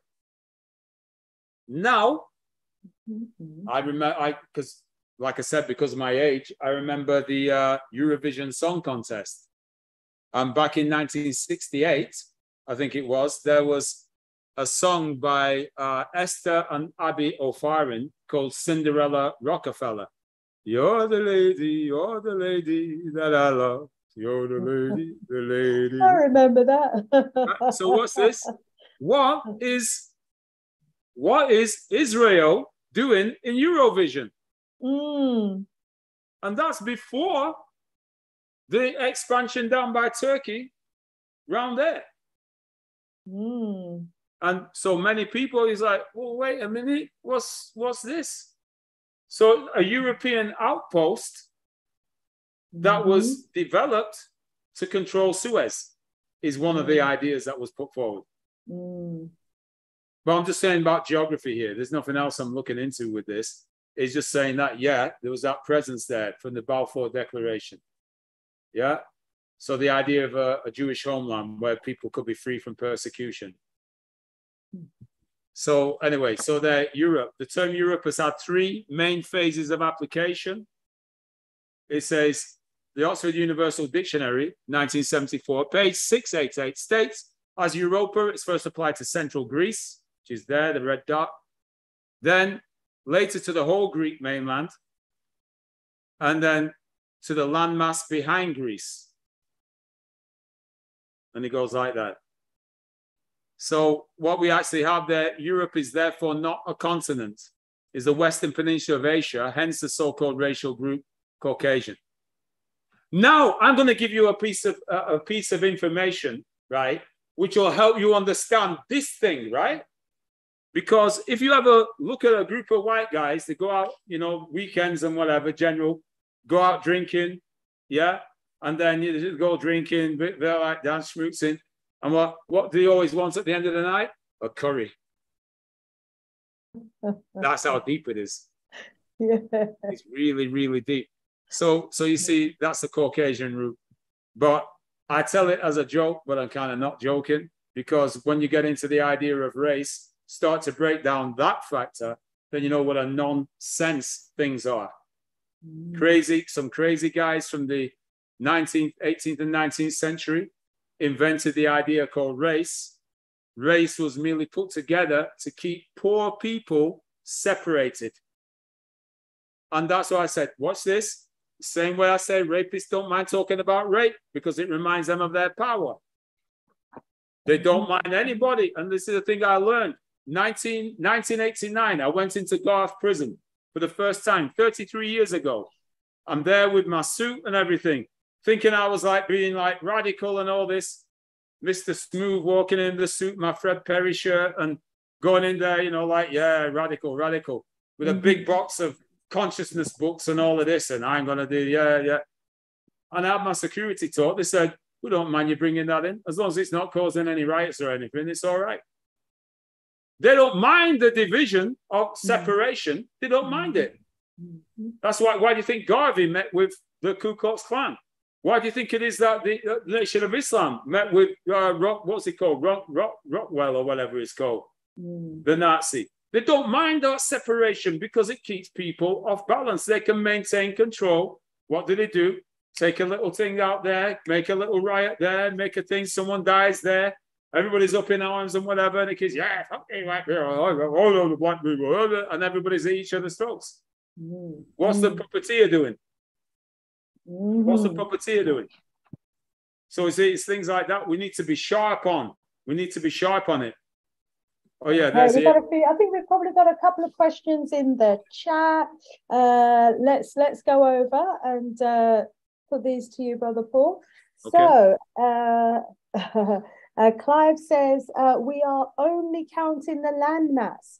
We can see above the sea and not the landmass that is still connected under the sea. Uh, let's uh, get your thoughts on that. Uh, very them, interesting uh, comment there. Barbados.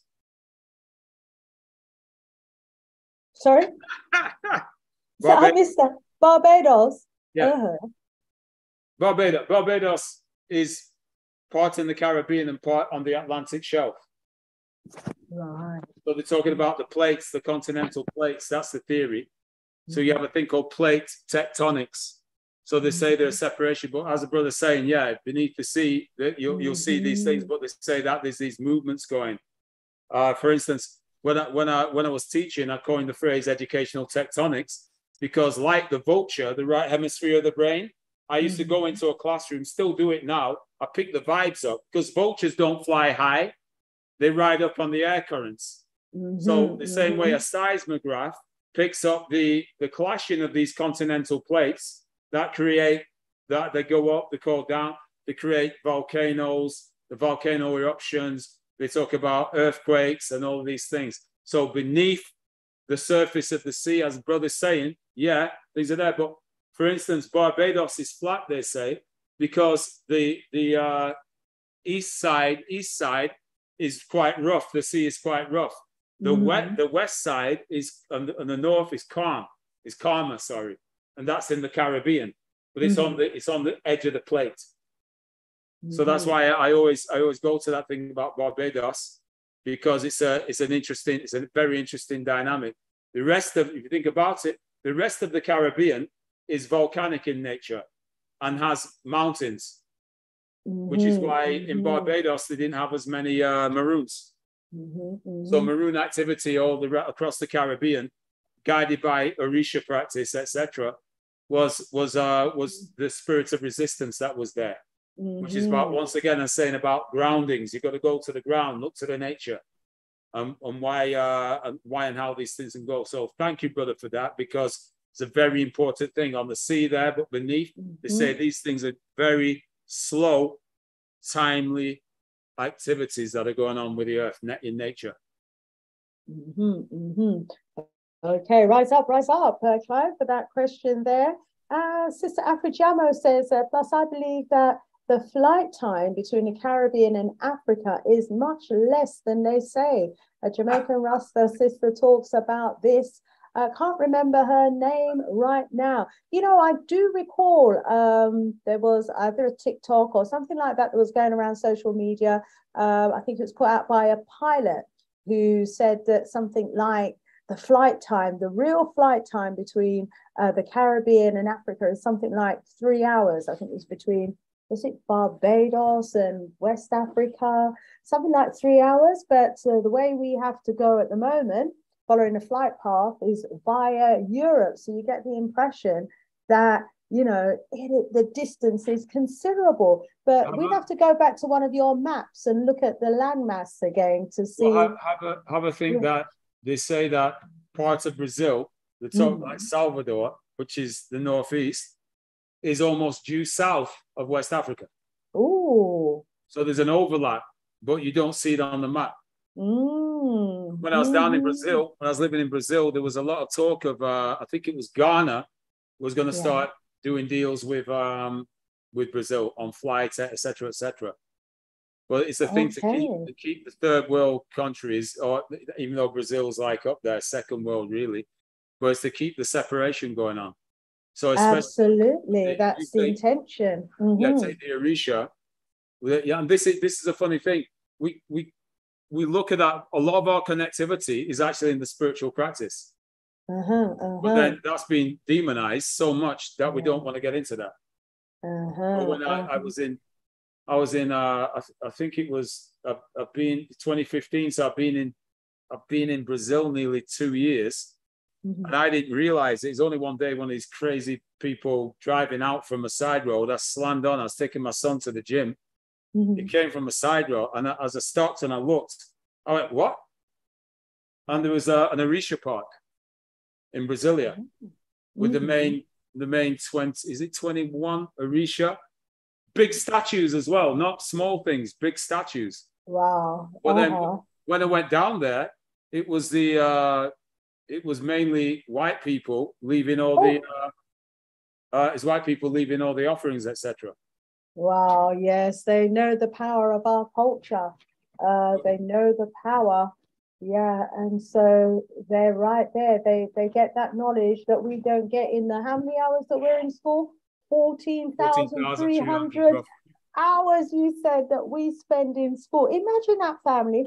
We're spending 14,300 hours in school between the age of was it 4 and 16? yeah yeah 4 to 16 and look how little we learn about our history and i don't think any of us have learned anything that you've just shown us there uh, about the real size of, of these uh, different continents uh, and countries Depends- on yeah, it depends which schools you go to yes yes indeed sometimes Mhm. sometimes it's there. So there's an old track by Stargard. those of you old school music, like there's a group called Stargard, and uh, I think it was they did. The, there's a film called Car Wash, and Stargard Mhm.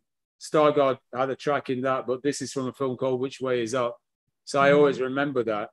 But who's to say which way up in space we are? Modern cartography, map making has taught us that the direction north is at the top and south is at the bottom. Mm. everybody in the world sees that sees it that way, or even what is at the center of the world. So here are some examples of America-centered maps. So this is what eh, the old Batman, old Batman, when it was on TV. This is a map that was behind the newsreader. It's a Mercator Mm. projection, but with Mm. America in the center. And then, then you see, and look how small africa is oh God, yeah, yeah, yeah. and that and that's what you you're being fed. That's that's uh if you don't learn to question what you see, You know, so I, I do I do uh, um I do a session where I just look at the role of the eyes of Heru. And you got to analyze and then reflect. And then it breaks down. And then there's a third eye, which is about putting things into action. And so, so that, that constant is a constant feedback loop going on all the time when we're doing the analysis. And that's what the ancients knew. So they, this is the kind of thing you question, does that look right? So then what we do, we have a political and then physical geographical map. Those are those are the two types there. Then you go to here. So this is like the um the thing I was saying. If we if I if it was joined the other side, this is a Chinese map, but you see that Brazil on this side here would be tucking round here. Does this make sense? Yeah, yeah, come. This, yes, this go through that again. Sinocentric. Sinocentric is a Chinese centered map. Mhm, Yeah, mhm. but- so where's the overlap? Well, the over the overlap here, you see when you see this, if you see a map like this in geography books in British schools, it's when they're Mhm, doing what they're calling the circle of fire, which is which are volcanoes in the Pacific. So you'll see maps like this, but generally they'll mhm. cut Africa out. They only show you part of the part of the structure, focusing on the mhm, Pacific.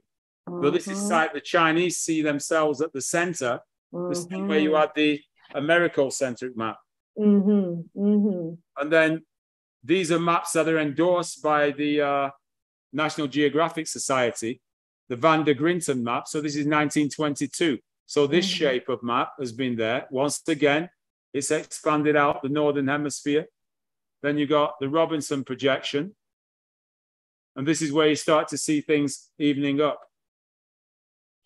And then this uh, number three is the, the, the Winkel, tri- uh, Winkel Tripel projection. And this is definitively getting more size, get the size more uh, balanced. This make sense. Mhm, mhm. Still, still a discrepancy if you look at Greenland at the top and you look at. China. You know where Mhm. China is. However, they're starting to do these corrections. So, southern orientation. How about that map? Mm. So it's, re- it's really upside down. That's the real way up. Yeah, but you see, you said it's upside down. So therefore, Well, it's the real way up. Double negative. Yeah, it's the right way up. So- Wait, re- remember the, the idea taught by uh, Dr. Ben and others that the, the river Nile flows from south to north. Yeah. And so they said it's up south. It goes up into Africa, Mhm, down to the Mediterranean. mhm, And so the idea is that our origins are up south. mhm, mhm. So Yeah. I, in my classrooms, I always get a piece of two Peters projections, but I always say, I always put one so-called upside down next to the other. And every time, I always remember when I used to do that in my classrooms, we'll always go, why is that map upside down? I'll say, which way is, it, which way is the Earth in space? It's not on its side? You understand me? No, what, what, who's to say that we're not spinning that way around or whatever? Or the disc is upside down in space, or the disc is on its side if you're a flat earther. Who's to Uh-huh. the way around it is? But these are perceptions that we get. That Yes. this is the way we always look at them. We take them for granted. Yeah, that's how So the mind has been trained to see the world, isn't it? trained and contained, trained and contained. So Mhm. shaking it out and get the question. That's why I kind of admire. I admire people who think about the flat Earth. I was seeing a lady uh, who was a flat earther. Mhm. You know, we were taught, We, don't don't do that. We, we were and so we talk about it and and whatever. And I, you know, something. It's like when you talk about aliens. I ain't saying anything about. I'm not going to turn around saying, "Oh yeah, they're aliens" and whatever, whatever. But I'm not going to be saying there aren't any aliens. Mhm. I put things on the table. I'll go, okay, then when the evidence comes, I'm ready for it. I'm open. I'm ready. I used Let's to like, back. Yeah. there's a there's an advert with Michael Jordan used to be on, and it showed that when people were passing the ball to him, yeah, he was already making his move. Oh, yes. He was not yes. just standing there ready to catch the ball. he was no. already making his move. Yeah. Yeah. That's how other coaches are. uh-huh, They're uh-huh. making their moves. That's right. And that's how we've got to be preparing to make our moves as well. We've got, and, and this is what this history is all about and what this knowledge and teaching is all about. And now we have to start thinking about, okay, how are we going to apply this knowledge? You know, what use are we going to be putting it to when we get this knowledge and we go away with it today? Are we going to be sharing it with our young uh, members of the family, the younger members of the family, so that they're not just learning it at our old age, but they're learning and have all of this knowledge at their young age. So I'm just going to quickly go back to the chat uh, before uh, we get to the top of the hour. And uh, Sister Afri Jamo uh, says blues up. Oh, that, so that's commenting to someone. Uh, yes, uh, knowledge is power. Saying same as Sub-Sahara, very degrading. And I think that's going back to um, when they, we were talking about the how they've reduced the size of Africa yeah, it's all about uh, degrading uh, Africa as well. So, uh, what comments have we got? Blue Zodiac. Africa is not the actual name of the continent. The original name is Al Kebulan. So, we'll uh, ask you to address Thank that in a short while. Thank you, Dr. Ben. Knowledge is power says we are also not black. You have very dark, melanated, beautiful people. Okay, and knowledge so is knowledge not power is, either. Knowledge um, is not power. It's knowledge the application. It's the application of it, isn't it? That's right. That knowledge gives you strength. Wisdom is power. They mm-hmm. teach you to get knowledge, but then not apply it. Yes, yes. So it's the application of the knowledge that is the power. So if you take all of this knowledge that you're acquiring and put it into some constructive action, uh, then yeah, and it proposes to take action. That's powerful. That outcome of the action is powerful. Rainfalling Sound says, uh, "What's Jamaican in the geography? Is Jamaica also America?" Mm, okay. Well, remember, remember that it was uh, uh, uh Columbus discovered America, is what they say, 1492. He never set foot on the continent. Mm-hmm. But he, mm-hmm. he, he, he, discovered Trinidad. I think he, we went to Jamaica, went to those, he went on the islands. Amerigo Vespucci is credited with the name, but it's, it's a case of, yeah, of course, Jamaica is part of your actual fact, you're an African American. You're part of the Americas. Mm-hmm. So it's, if you if you take it to, to that level, it's mm-hmm. it's there is no separation. And the original people certainly identified themselves as being part of the Americas, didn't they? The uh, well, you took the Arawaks, the Caribs. Right. The uh, it's, it's, it's, like the Makusu Indians and uh, so indigenous people in Brazil. All mm-hmm. those different people have those uh, those identities of being Native American. But you say Native mm-hmm. American, like the brother was saying, they had similar culture, didn't they? Oh, Very oh yeah, yeah. Culture. Mm-hmm. You, see, you see, it's like Dr. Ben.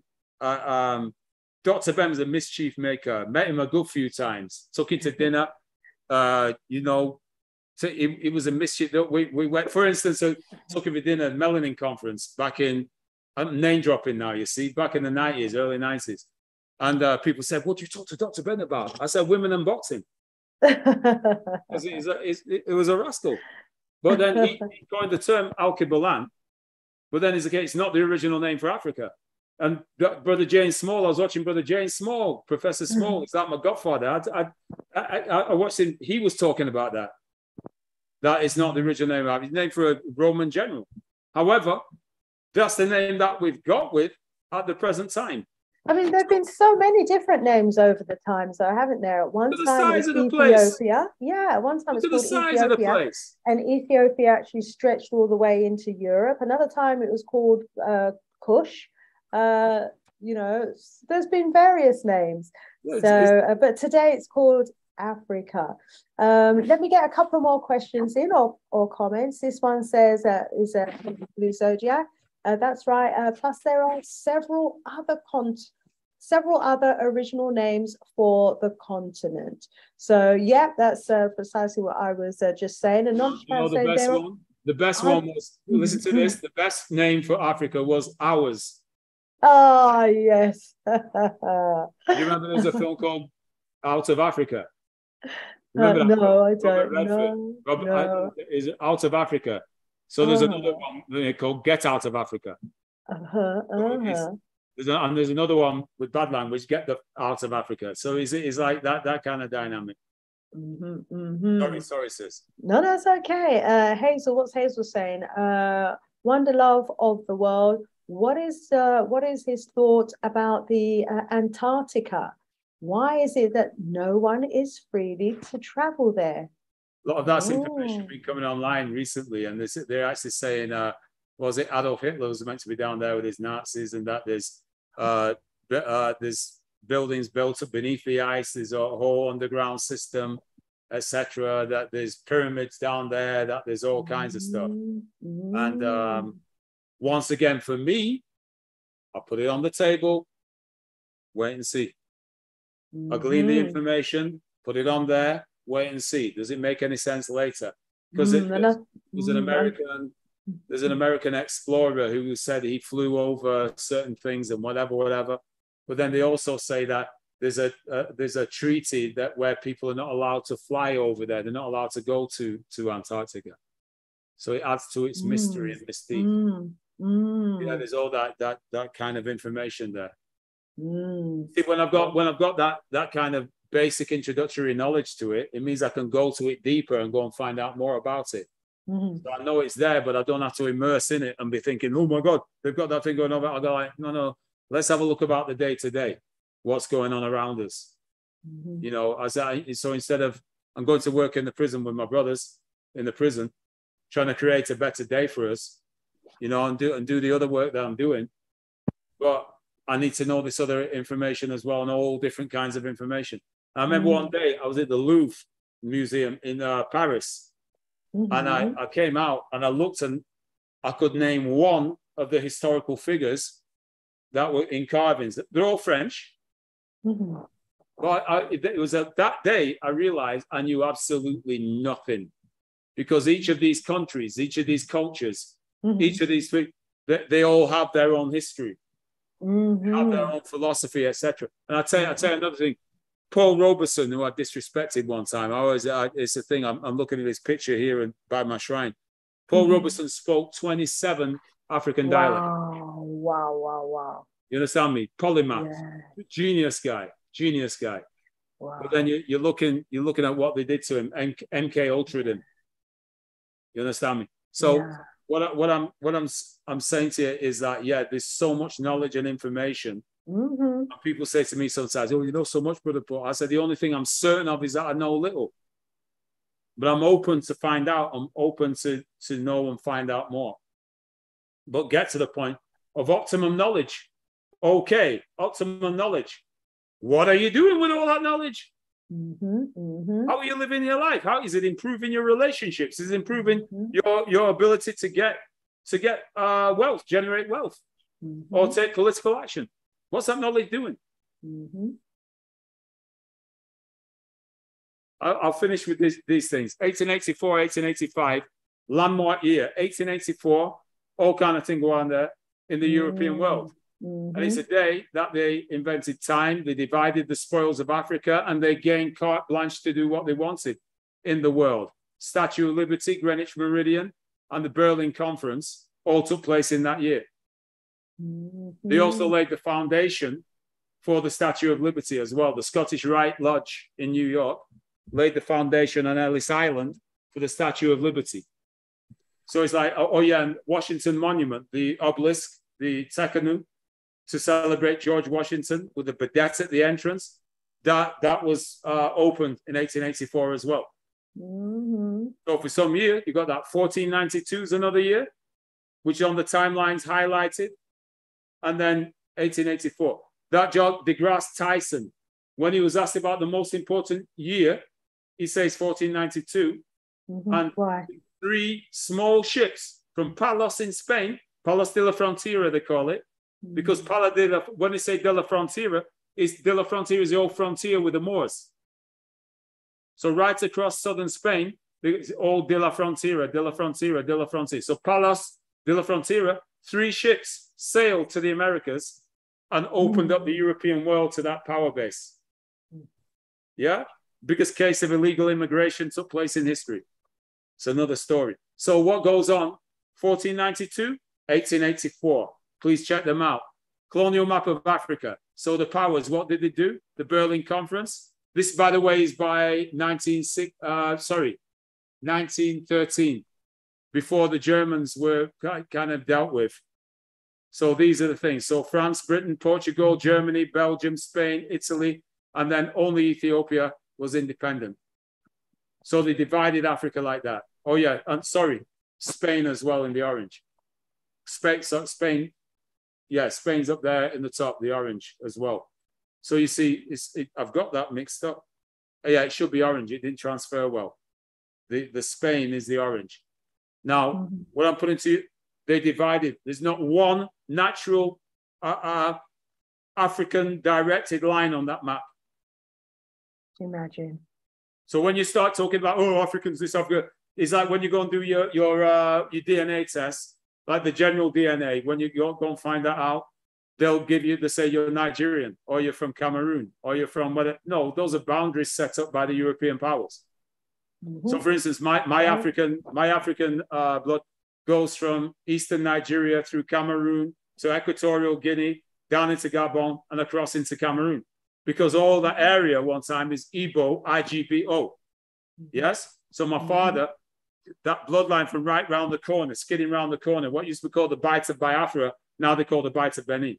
So what happens is those boundaries get there. Go to AfricanAncestry.com uh, and you do the, it's more expensive, but they've got a bigger database. That's where I got that information from. Whereas the I, I, Ancestry.com gave me Nigeria. Mm-hmm. So this, these are the powers, the, the, divisions that are there. Every time we call these names, I, I always remember back in the day, the guy called David Nabarro is a, is a white guy, uh, virologist, a virologist, one of the leading experts in AIDS in the AIDS epidemic when it started. This is back in about 1987. Me and my were asked to talk to a group of doctors from all around Africa. And I was like, me and my were going like, we're a couple of hood rats, a couple of hood rats going to talk to these doctors and professors from the School of Tropical Medicine in Liverpool. We're like, oh my God. So we both, because Lance is a high ranking martial artist and bo- professional boxer. I was a boxer martial artist, lower ranking. And we got ready for it, like we're going for a fight.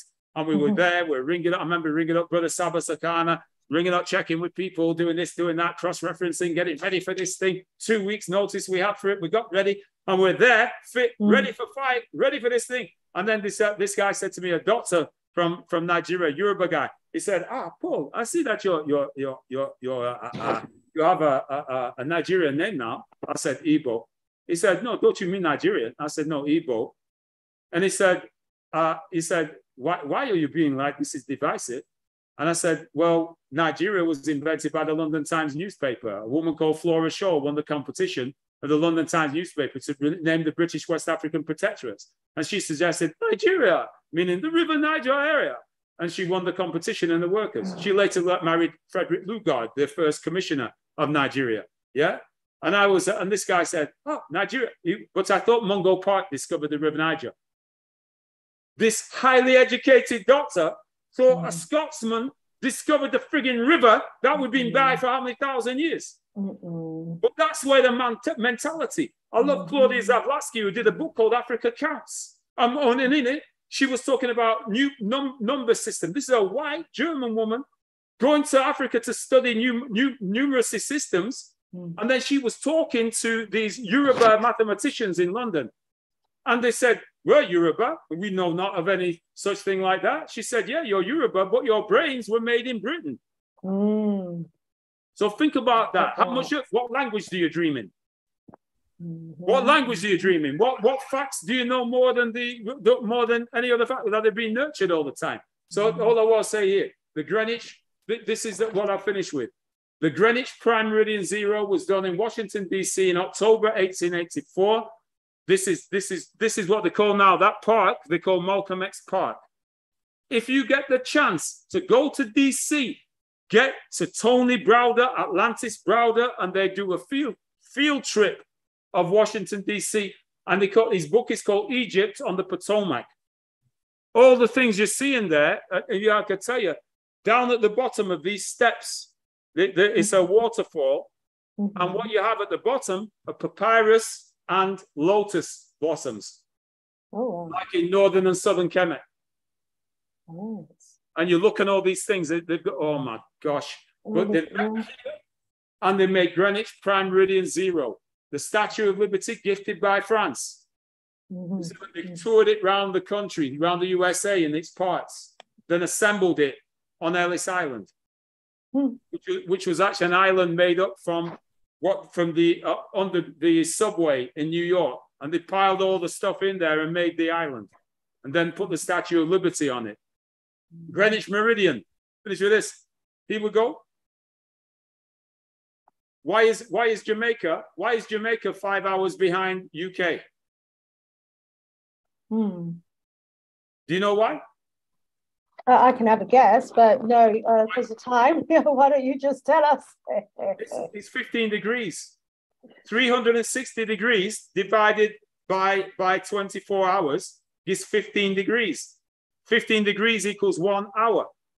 uh-huh. And so you've got the actual real time. They drew this imaginary line down the map of the world Mhm. where you can go to Greenwich and stand either side of it. Can Mm-hmm. you imagine the power to define time around the world Mm. and say what time it is? And people live by the clock. Mhm. That's why I always say to people take the C off clock, it says lock. We've been locked down in time and space Mhm. by a certain culture. And to keep that going, this is why we need to understand the Eastern and Western mindset. Mm. And they stopped time, didn't they? And restarted it again. Uh, ADBC. Uh, That- that's correct. But then Yeah. here's the Oriental. What's the other? What's what? What are we in in the West? Mm. What are we in? What's the opposite of Oriental? Mm. What is it? It's Occidental. We're in the Mm. Occident. Mm. We don't know it because we're in it. And these are basics that when we're trying to under whoa, wait a minute.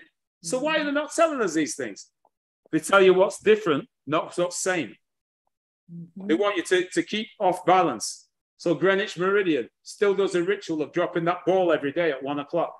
Mhm. That the sailors in the do you know that the guy from the Meridian used to sell time to local shopkeepers with his daughters? They'd ride a bike with a clock in it and then they'd set their, their clocks. It's, a, it's an actual invention. Let me let me finish with this.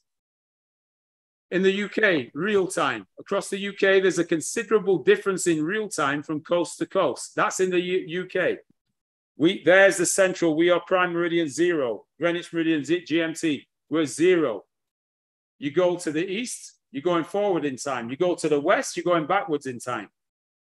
So what happens is, as the Earth rotates, the actual time within a one-hour time zone is also different in real time. So there's there's the UK. The rotation's going that way. And what do we have? There's London at nine o'clock. Imagine using nine o'clock. Well, what time? What time is it? The meridian's there. What time is it across the country? So what goes on Norwich? It's 9.05 already. It's five minutes ahead. Mhm. Norwich is plus five. York is minus four. It's 8.56. Here we have Coventry. It's 8.54. It's six minutes behind. What happened is Blackburn, where I was raised, is 8.50. It's 10 minutes behind. Some people will say it's like centuries. behind, Well, that's another. Then you have, you have, you have uh, Newport in Wales, 12 minutes behind. You have Torquay is in A4, is 14 minutes behind. And then you got Ben Nevis in Scotland, is 20 minutes behind. Mhm. So that's So, I mean, time. Yeah. So what all of this shows is that, you know, we've all been conditioned into um, interpreting time in a particular way, but you know, it's a nonsense really when you look at it in terms of the geography and uh, And nature. yeah, and nature. Yeah. You know, we used to tell the time, didn't we, from from the um uh, from the cosmos, from the stars, you know, um the Well, Jim, I'll seasons, tell the you, times. Go to a village in Nigeria. I, I Mm. went out one morning and it was late morning. I went on this walk and I didn't say good morning to somebody. Right? I didn't say good morning to her. Mhm. So I was like, walk, I was like, I think I was jogging or something. And I, I didn't say good morning. By the time I got round, it was the afternoon, right? Mhm. I got told off when I got back to the compound.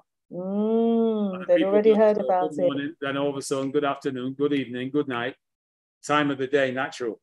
Yeah. Something No. else has just come to mind as well. And we've all got an internal body clock as well, because uh, most of the time, you know, we can probably just know the time before looking at the time. You know, I mean, know, how often how often does that happen to you all, everybody? Greenwich, I think it's the circadian cycle or something they call it. But then what mm-hmm. happens is mm-hmm. if you go to uh, uh, Greenwich Museum, the, Greenwich Meridian Museum, mm-hmm. shows you that the ancient Indians, for instance, mm-hmm. knew the time of day and the vibrations in each of your major organs. There you go. Wow, wow, remember, wow. Remember this as your... well. What I asked you to do is look up the vagus nerve the vagus nerve. And, the vagus nerve. Okay. Yeah, the vagus, V-A-G-U-S, vagus nerve in the body is that which connects the brain to the heart, to the abdominal brain, which we call the solar plexus and the abdominal brain. In actual fact, they call it the information superhighway in the body. And when you look at that, to me, I, I say, I've been saying that corresponds with Ma'at. It corresponds wow. with the Ma'at and the symbolism of the, of the ostrich. Wow, wow, wow. And you know what comes to mind as well as you're talking about that? Uh, the connection between the brain and the body. It just tells me then this is how we ought to be able to control our healing. If we were to develop that connection on a conscious level, then the brain could talk to the organs in our body and say, You're healed, and tell it, you know, what it is you want it to do. Wow. And NHS that... will say, talk to the hand. they would indeed. But we're dealing with nature. We're dealing with a higher level of power, a higher level of, of um, you know, spirituality probably that we've got, and we don't even realize it. And it just takes something to trigger it, and then for us to practice it. And then our ancestors will kick in. Those ancestors that go back generations upon generations inside of each of us who maybe used to practice that before the NHS came into being. Wow, wow, wow. Well, as always, my brother, it has been such an insightful and interesting presentation. And I know you probably didn't even get halfway through your slides, but roughly wow. Half. huh? Sorry? roughly half roughly half. There we yeah, go. Yeah. So there's still so, so much more. I, do, uh, I just want to say, sis, please, mm. I, am asking people to take care of the basics. And just to remember that there's basic information because what happens is yeah. there are people who give you all kinds of information on top of what mm. you don't know. And then there are certain things we have to, it's like if you, I, I have this thing here, I always keep it here, it's called the 10 virtues the 10 mm-hmm. virtues, and they said there'll be the 10 virtues of Ma'at. And then the last one, he says, I will cultivate the ability to distinguish between the real and the unreal. Mm-hmm. That means in the mm-hmm. Nile Valley, there must have been fake news going on right, about Donald right. Trump. So there's always a need to question, always a need to distinguish. Oh, every time. And uh, just want to thank you so, so much uh, for sharing all of your knowledge with you. There was a question in the chat. If you could stop sharing, please, uh, screen, uh, that would be great. Then we can see you um, uh, back on screen. There was a question in the chat. How can they get hold of your timeline? I At the moment, what I'm doing, like I've said, I'm redrafting.